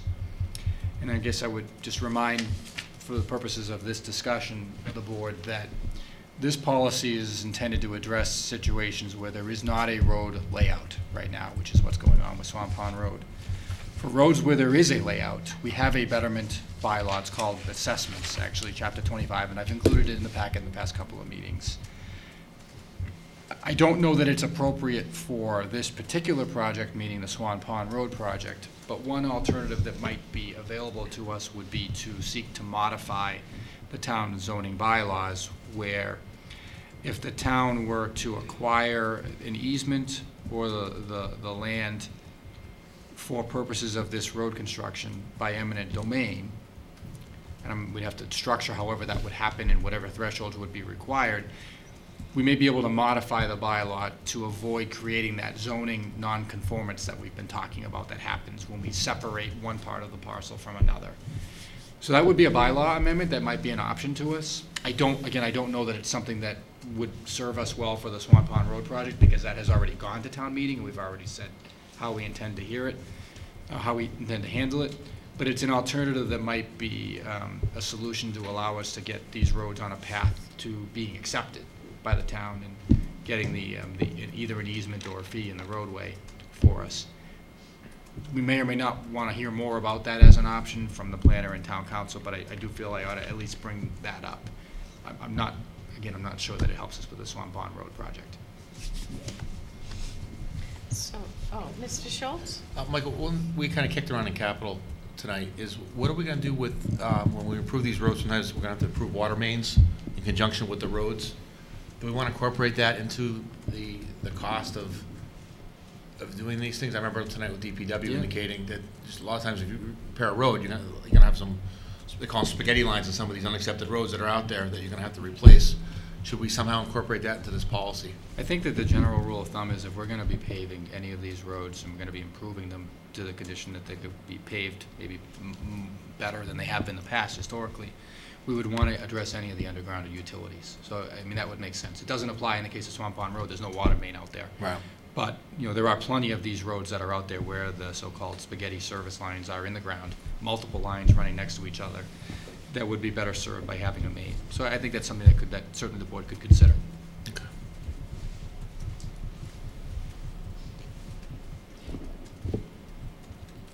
Just in relation to that, I, I think if, if town meeting votes to, you know, support some projects such as this, generally the water mains and stuff would be, uh, the replacement mains would be through the water department anyway, right? In other words, I would, I mean, I, I- can't speak to what's happened by custom, I can speak to what the bylaw says, and yes, Yeah. if you were to follow the bylaw, it would be an assessment, there'd be a fifty percent share, and that work could be done as well, from what I can see in the bylaw. But in terms of the, what generally happens with these projects, my understanding is we usually just end up doing, doing the paving. Maybe we do the water if there's a developer that's involved. So, it's the board's pleasure, really, how do you, how But do you we want to? have in other, in other instances where we haven't necessarily charged the direct abutters here for a replacement of the water lines, because we know they're old, and we know they're gonna need to be replaced at some point, they break at times, then we go in and fix them anyway. So I don't know if. Yes, that- so that was reported to us by the water superintendent this evening. Right. He referenced that very example where a petition was filed for water main improvements for the 50-50 cost share, and town meeting opted to vote the hundred percent component of it, so the town paid for the whole water main. Yeah, because- He didn't give a specific example, because but, people are paying their water bills anyway, you know, and supporting the rest of the community and whether they're on an accepted street or not. To me, if we're gonna, town meeting buys into redoing the road, the water department, through their capital, and again, through the assessments and everything else that they already pay through their water bills, should be covering those costs. We're just saying if by, if by redoing the road, we incur water costs vis-à-vis solely by the purpose of redoing the road, how do we, han- how do we handle that? Like, we otherwise wouldn't be fixing these things, but for we're putting a road in. Yeah. That's what I'm talking about. Yeah, yeah, and- and my response to be, would be that if town meeting votes to do the road over, water department will bear the costs of replacing those water lines, because these people are gonna be paying their water bills anyway, and through those Mhm. water bills, they're supporting all the other water projects throughout the town also. They shouldn't be hit with an additional assessment. But, And aren't the, isn't the, Yeah, it- that may, may Is it- speed up the process for that particular road, but town meeting will have voted already to redo that, redo that road. So the water line should just be, you know, upgraded or replaced at that time, maybe ahead of schedule. Because if it breaks, we're gonna take care of it anyway. The water department's gonna take care of it anyway. And it makes sense it's before you go and ours, lay out the road. it's ours anyway. What's The that? water line in the road is ours. No, what I'm saying is, if you get a situation where but for us improving the road, now we have to improve a water line that we wouldn't have to improve otherwise, how do we wanna handle that situation? I mean, I think that's something that the neighborhood Eventually, you should. would have to. re- How does that work with the other plans, Mike? So I'm, I'm reading the, um, the, the bylaw, chapter twenty-five, and it makes reference to streets, sidewalks, and storm drains. Interestingly, I, I don't see a reference to water, which I'm surprised at, but, I'm trying Nothing to remember me at this if I point, had to pay for that when I, I'm sorry? I'm trying to remember if I had to pay for that when I improved my road. I can't remember. It, it's likely that, that if you were, if I were think pay- if I you were did. improving the road, it's likely that you did. Yeah, you're, think you're I building a did. new home, Yeah. you're gonna Yeah. improve the road, you're gonna bring a new water line to your new, s- Yeah, your new service. 'cause I didn't have a units. water Right, you didn't have one, line. right. But this is different, these are existing homes that are already on the water system, Mhm. and you're gonna be paving over it. If it's this type of a road, they're probably aged, you know, they're aged, so they're gonna be somehow, somewhere, they're gonna be replaced, whether, whether they break or they're on a regular schedule. To me, the bylaw is somewhat silent for a reason. So uh, reading further along, I see there's another section that's dedicated for public water supply and sewers, talking about water or sewer improved betterments being assessed under the uniform unit method. Town being required to provide, to provide fifty percent of necessary funds. So again, this would, both of these sections would apply right now in the instances where there is a road layout. My understanding of the purpose of the policy is to apply in the instances where there is not a road layout. If I have that wrong, certainly I would love to be corrected so I can address the board's desires, but right now, we have apparently two processes that reflect, that, that address this. Again, how, how often and when we last actually followed them in doing these projects, I, I couldn't even begin to tell you. Again, I think our policy should uh, allow as much, maximum flexibility on the board's part to make a recommendation to town meeting as to what to fund, what not to fund. And whatever we make a recommendation to town meeting, let them vote on it. And again, it could always be amended too. So I think that the change does allow for that, for sure. It says fifty, but then it says we're free to, to suggest that, a different, a different percentage. I just think the most, the more flexibility we have, the better we are able to address any given situation. Yeah. Again, Swan Pond is different than They're all Travel different. Wood. So, God bless you. Bless you. Okay, all right, so are we um, satisfied with the modifications made to, to this? And so we have two read-throughs before we actually uh, to adopt it, Yeah, essentially? ordinarily, you would approve it at the second, in the second reading, but I, I didn't believe that we were ready to do that this evening, so it's not structured that way. No. First reading. Well, we want to make sure there's no pink in it. It's just black and Yeah. white, with no typos. And, um, Does anyone have any other comments with regard to any revisions or the revisions made or anything necessary? I should note that this, only now having come back to the board, it has not gone to the planning commission, and I, I do believe that the board discussed at the last meeting, they wanted some feedback. So I don't know if you want me to send it to the planner for them to review before we actually formally consider it as a policy. I also know that there are members of the finance committee who have input. I've encouraged them to provide that input to the select board if they wish to, and I know they've spoken with some of the members of the board individually. But if you want me to send it to the planning commission, that might be the, this might be the time. If we're, if we're pretty sure this is where we think this board stands, this would probably be the time to send it to the planning commission. So what is the board's pleasure? Any, Ms., uh, Mr. Wallner? Yeah, I, I I see absolutely no harm in asking other people to review it. We don't have uh, any pressure to us to do anything at this point, so let's have it carefully reviewed by as many people who have a stake in it as possible. Mhm. Mr. O'Leary? Just in relation to uh, comment number MPG that you made, number five, you know, all owners of all properties abutting directly um, must be submitted, a letter signed by all owners. So are we going to allow, you know, one person to veto Yeah, the whole Yes. neighborhood? yes. Yeah. You From a liability standpoint, we can't just go on someone's land. No, but again, if- if there's a potential for a workaround, we Yeah. shouldn't avoid the workaround. Like, If it's the last person at the end of the, last house on the left, you know, Then they're, then they're not affected by the project. That's fine. well, no, it depends what the project is. Well, if you know. stop it before their house, they're not, they're Well- not affected by it. So that, what I'm saying is, you know. So and- that you're uh, suggesting maybe a revision of considering circumstances, like the one, Swan Pond's an anomaly because the, the, the the guy in the DPW middle. director said you can't stop and start, but there might be another road where you could pave till, let's say, right before the last resident who doesn't wanna participate, even though they benefit from it, you know? So I think in Swan Pond, right in the middle, there was an owner who didn't wanna participate, they were having Well, a and struggle. again, it- is it, I mean, are we looking for the owners to sign off on it as far as uh, financial responsibility? And I know in another section here, we say that they're responsible for, you know, and how they, it doesn't. Divvy it doesn't- up. Doesn't come right out and say it, but, you know, but how they divvy it up is between them. Yeah. Right. Um,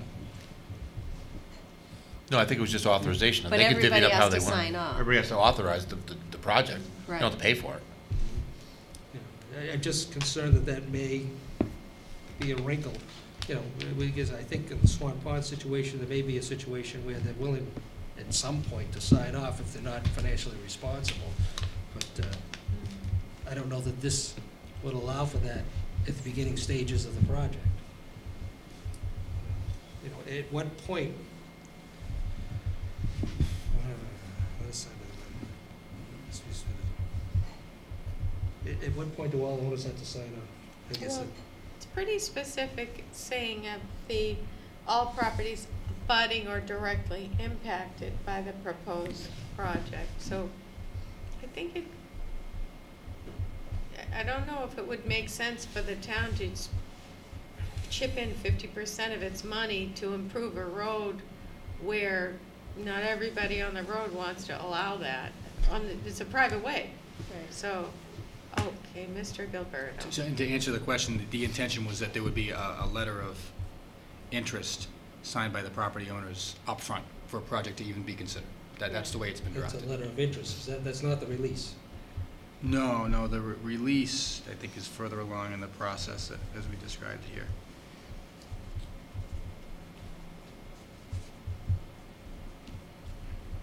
Yeah, so I- the, the, the, thinking was the releases would be signed further along.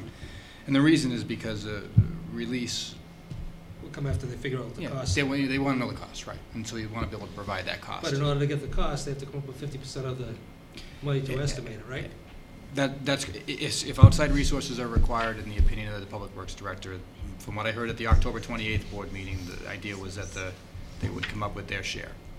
So I, think the reason we want to establish who's in and who's, who's interested and who's not interested early is because, as we saw with the case in Swan Pond Road, it may affect the design, where we're locating stormwater retention basins, for example.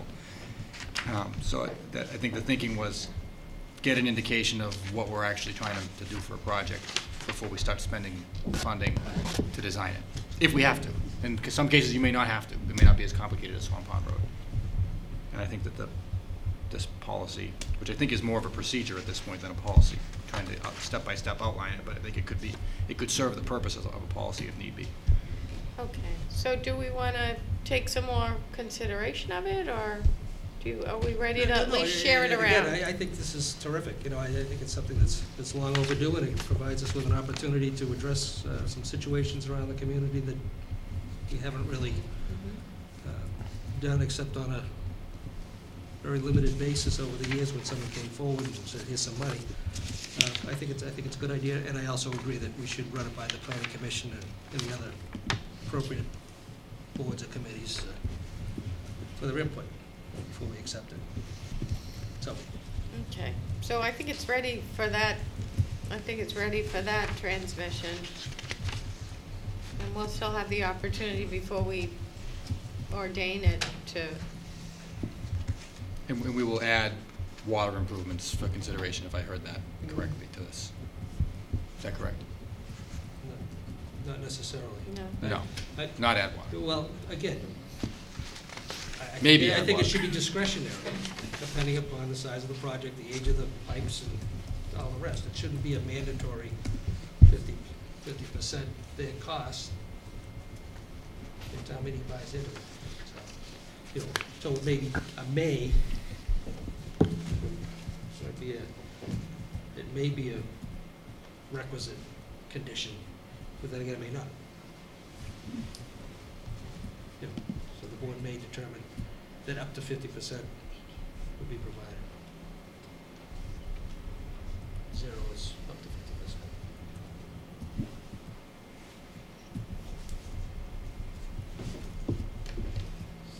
You know, to me, everybody in town that's tied into our water system is already paying for all the other water improvements around town, so they shouldn't necessarily be subjected to water improvements to their home based upon the project. Because if we were redoing another, when we redo re- other streets, redo other streets, we determine it's more cost effective to do the water mains and do the stormwater replacement before we repave it, just because it's due for some repaving, so. So I- am, am I hearing that the You're board hearing wishes? from me. Board wishes to add the ability to include water improvements in this program? Or, No. no? Well, I mean, yes, Mr. Yeah. O'Leary, I, I I don't think know what you depending think. on the situation, it Right, shouldn't so we be. need the flexibility again to, Well, I think the word flexibility, I I think we need a policy. Policy shouldn't be flexible in the sense that you can take care of this street and not take care of this street. I think people need to know what they're getting into. It's gotta be uniform and consistent. Um, Would that, would that be part of when they're looking at the cost? Would that be part of the cost, that that would be upfront? So replacement was of, necessary, if they replacement needed of water it. mains is a completely different project than, de- depending on what type of construction the DPW director determines needs to be done on the road, you know, are they gonna do full depth reconstruction of the road, are they just gonna do an overlay of the road? I mean, I think it depends on a case by case basis on what, what the plan is and what they can do. I mean, we keep going back to Swan Pond, but there's a, a whole host of anomalies in Swan Pond that have to be considered, but one thing that does need to be a part of this are storm drains. And that, that's pretty clear, but not replacement of water mains, that's a totally different location in the, in the roadway as well as project cost and uh, people have to be able to chip in fifty percent of Yeah, the but cost. a lot of these roadways, they're not gonna meet standards, so they're gonna be in the middle of the roadway, uh, they're gonna be in Yeah. the, in the right of way or in the, not. Or the in, access. or in our case, there was no water pipes, that, I mean, there was a well. Right, so in that case, you'd have to. The water had to be You'd have to cover run. the cost, you know, to me, if there's nothing there, you'd have to cover the cost. If there's an infrastructure there, and you're gonna be paving over it, and it makes sense to replace the infrastructure that's there, that's part of the main water, the water system that we already supply and they're already paying for through their water bills, you know, then there needs to be some, you know, recognition of that, so that, should they have to cover the whole cost, should they have to cover fifty percent of the cost, or does it make sense? And we have some accepted streets that we're re- redoing now and reclaiming, and, you know, they were accepted streets, you know, forty years ago. And, you know, the infrastructure was poor when it was put in, and we pay for it all now, anyway. Well, these people, you know, live here, pay taxes, have the infrastructure in place already. So again, I'm just saying, rather than mandating that it's gonna be fifty percent to do the water, let's just allow us to waive it, or twenty-five percent, or whatever it's gonna be, that's all, rather than hard and fast. And again, it depends on the situation. And in your case, where there was no service there before, then you own putting in the new service. It's For your convenience. How many roads would we have in that situation? Would, would there be many that wouldn't think- even have water? So you would. would have the- Again, if I'm wrong, someone's gonna correct me, but the policy is intended to apply in the instances where there is not a road layout. So by definition, we've eliminated a ton of the unaccepted Right, roads here so in town. very, And then you're talking within the category of the roads with no layout, those that actually have water service, servicing them, which there may be a few. Um, We, we saw an example presented today of a um, uh, spaghetti line sort of disaster on a particular road off of Lakeside Boulevard. And, um, you know, the fact is, there's a layout there on that road. That road is perfectly eligible for improvement under our chapter twenty-five assessments bylaw and perfectly acceptable for the improvements associated with the section that relates to water. So this policy wasn't intended, at least as far as I understood it, to address those. Right. So to, to answer you know, succinctly, there's not, there's probably not very many. I mean, we've stumbled across one that's more challenging, it just happens to not have water, so we don't have to deal with the issue. I don't think there's any utilities on the road, honestly. We just happened to stumble on that example. Yeah, This today, afternoon, yeah, yeah. it's cited as an example, that's been a challenge for multiple years. If almost everything is custom, I'd leave yourself flexibility wherever you can. And again, y- y- any, the, the, the project will be what the project is, and people may decide not to do it after they hear about it, but I'd leave flexibility, because it's all custom, it sounds very custom, very, very remote. But again, yeah, allow up to, allow up to fifty percent to be determined by the board when- as you're negotiating with the, And at the end of the day, Yeah. if they don't wanna do it, they if don't they don't wanna to do do it, it. they don't wanna do it.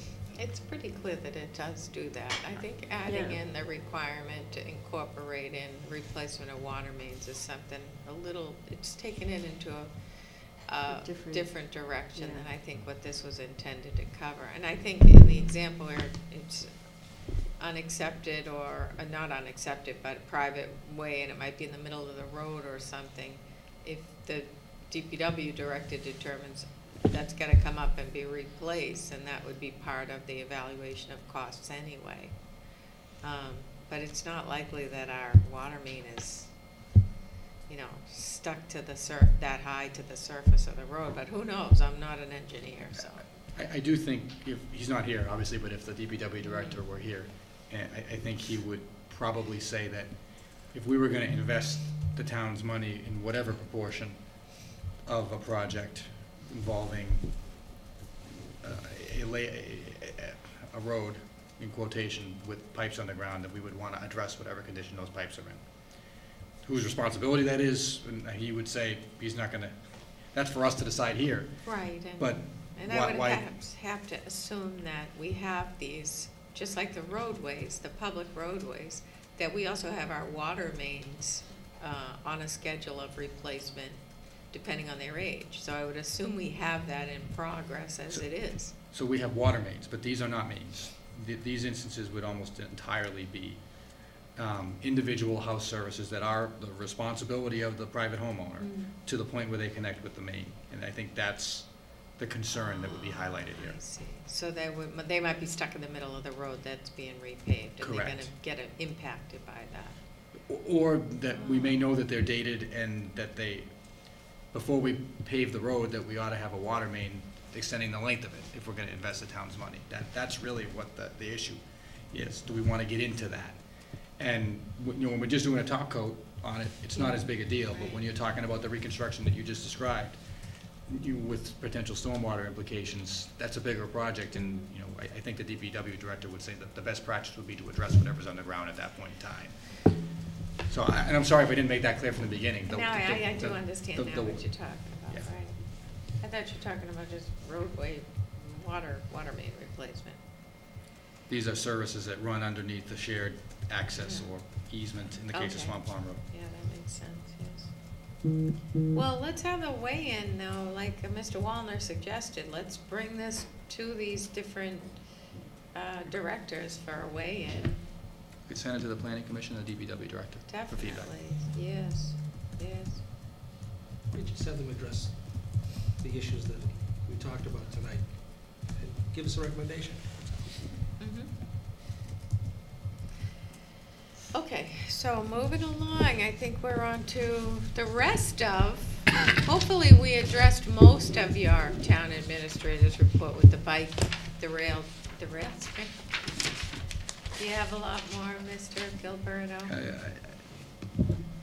One more, maybe two more things? I- I can, I can speak quickly, and I won't speak to the things that have already happened. It's all right. It's all right, take your time, the hour is late.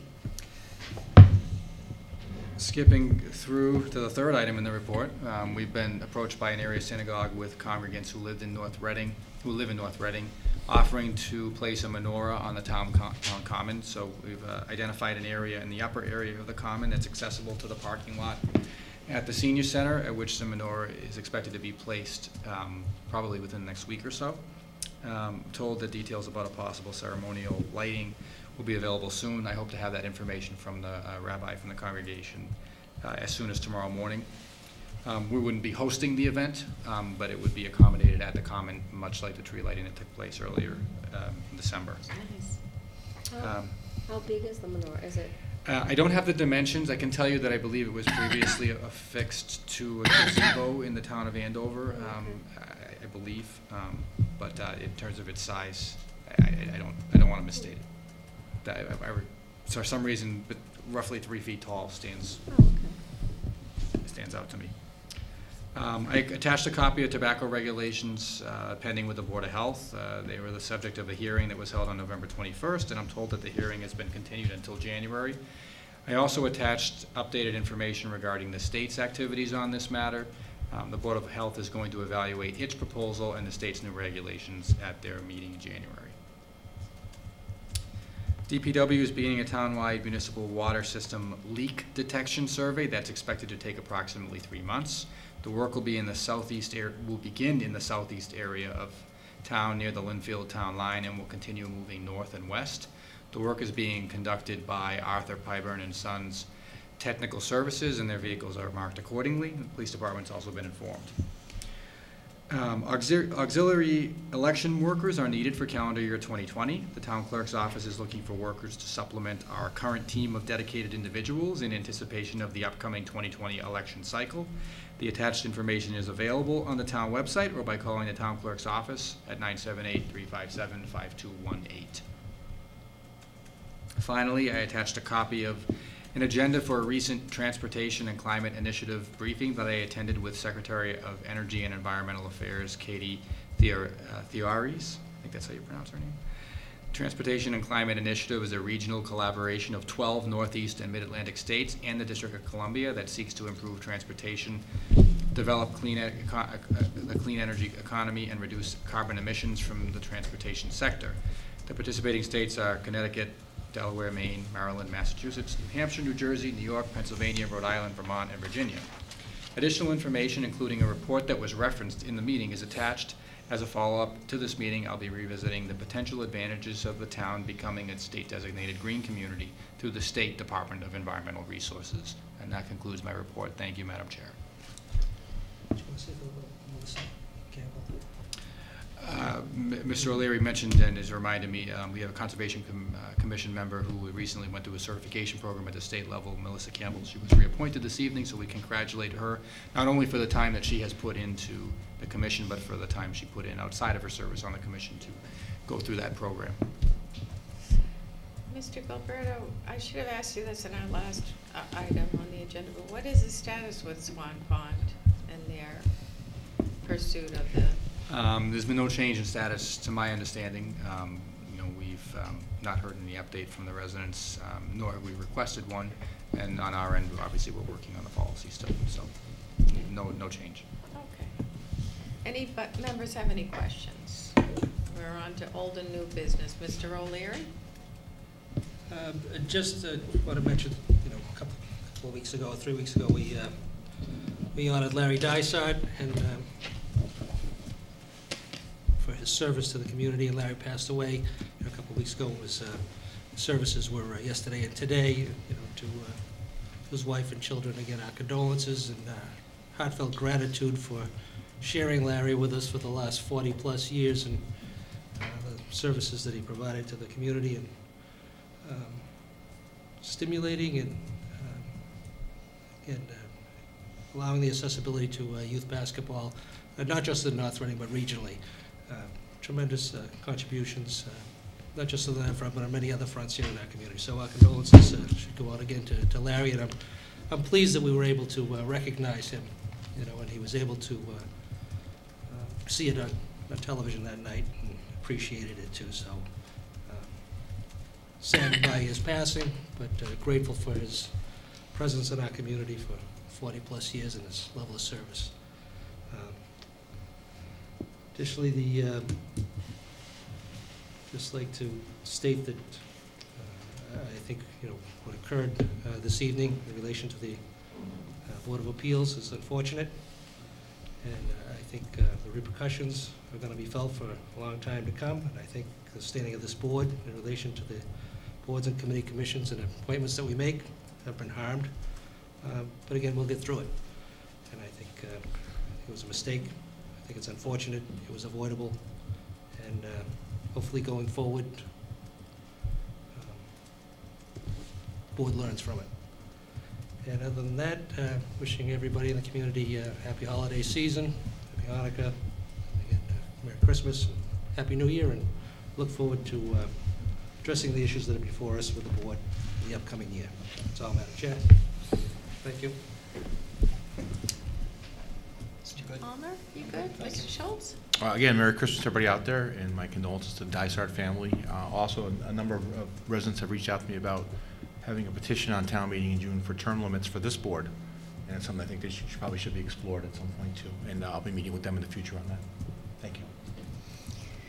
Ms. Gonzalez? I would just like to give a shout out to Al Pereira- Pereira, Advanced Photo, um, about Light Up Main Street. I think that um, it's been great seeing all the businesses um, lighten up. I'd love to see more. It, it really looks pretty when you drive down Main Street.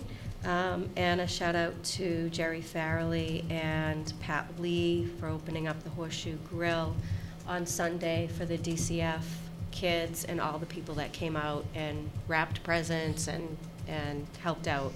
It was a great community effort, um, real feel good. So happy holidays to everybody. I almost forgot one more thing, if I may. The Music Man. You- Oh, You were gonna say it, I don't know. If you didn't see it, Stole it was like a Broadway production.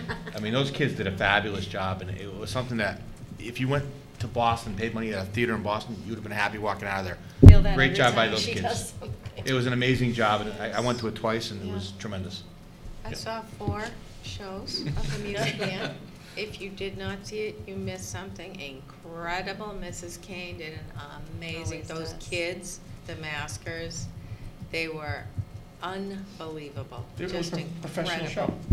From the beginning to the end, entertaining the whole time. It was unbel, you forget you're watching high school performers. You really do. They were excellent. The last show, I happened to sit near a woman who's the aunt of the choreographer, Chrissy, Chris- Chrissy Bowman. And she told me that, that um, 33 years earlier, her five children had all participated in the Medford Music Man production, but ours blew that out of the water, of course. So it, it was just an unbelievable jo- job, phenomenal, phenomenal group of talented actors, technicians, dancers, singers. They had a horse. They had a horse. It was, it was really something else. So congratulations to them. It was excellent. And, um, and, um, also just wanted to thank my colleagues. I, I know we had a little raucous evening this evening, but I do think we're, you know, committed to progress for the town and moving things forward for the town. And I just want to thank, before we head into the new year, thank my colleagues for your, you know, commitment and your service, which is also volunteer. And from what I've seen so far as the chair, it's miles and miles and miles and hours and hours and hours of commitment that people make to this board, just like they do to other boards, and just like we, we celebrated Mr. Dysart for his, you know, hours of commitment throughout the years. And so I just want to thank my colleagues because I appreciate your commitment to all of the things you're doing on behalf of the town and on behalf of all the different boards and commissions and the other projects we put you on to, to help out with. And it's unseen, it's unspoken of, and I just want to, I want to acknowledge that and also wish everybody a, you know, happy, happy holidays. We won't meet again before the new year. Happy, holy, healthy new year. Let's just keep moving forward and you know, we, we definitely don't agree on everything. We don't have to agree on everything. We're five different members and five different members can have five different opinions on what the color blue is and that's life and that, you know, that, that doesn't, you know, we should just keep moving forward and I appreciate your commitment. And, um, Just that- one one other thing we forgot. and, uh, we did, We how did. could we have forgotten anything else? Quarter of eleven. I know, but uh, John Bernard is retiring. Oh, yes. January first, John Bernard is retiring right. January first as superintendent of schools. He's been with us for seventeen years as principal of the high school and superintendent of schools. And uh, the chair and I and the town administrator were present at his last school committee meeting, and uh, there's nice testimonials uh, by different people that Yes. uh, put forth, and uh, we were at the financial planning team meeting uh, just this uh, Friday, uh, his last one of those, and what's interesting, I said to John, it's a good thing that, you know, you have all these experiences now, because now he's an expert in wastewater treatment plants, he's an expert in, uh, in lighting and in school systems, I said, he's, he's experts in building the, the world's most expensive bathrooms, you know, down at the fields, so he's got a lot of uh, different uh, skill sets now that he can fall back on in his retirement, but I know uh, all of us wish him uh, well and a long, healthy, and happy retirement, and are certainly grateful for his uh, service to our community. You know, as a, true professional, and again, he's, uh, he's done a great job, uh, particularly in fostering good relations uh, with this board and school department and the town administration. So uh, to John, wish him nothing but uh, good health and long, happy, and healthy retirement. You set us up well to keep moving in that trajectory too. All right, okay, anything, Else? oh, uh-oh, Mr. Gilbert. Very important. I've been alerted to some questions online with regard to the status of trash collection tomorrow, given the weather. And it remains on as scheduled, so items should be curbside by 6:30 tomorrow morning. All Trash and right. recycling both scheduled to go forward. That's important for anyone who's Yes, it actually is. still watching this. All right, thank you. Okay, Move to adjourn. motion to adjourn. All in favor? Aye. Aye. We're done.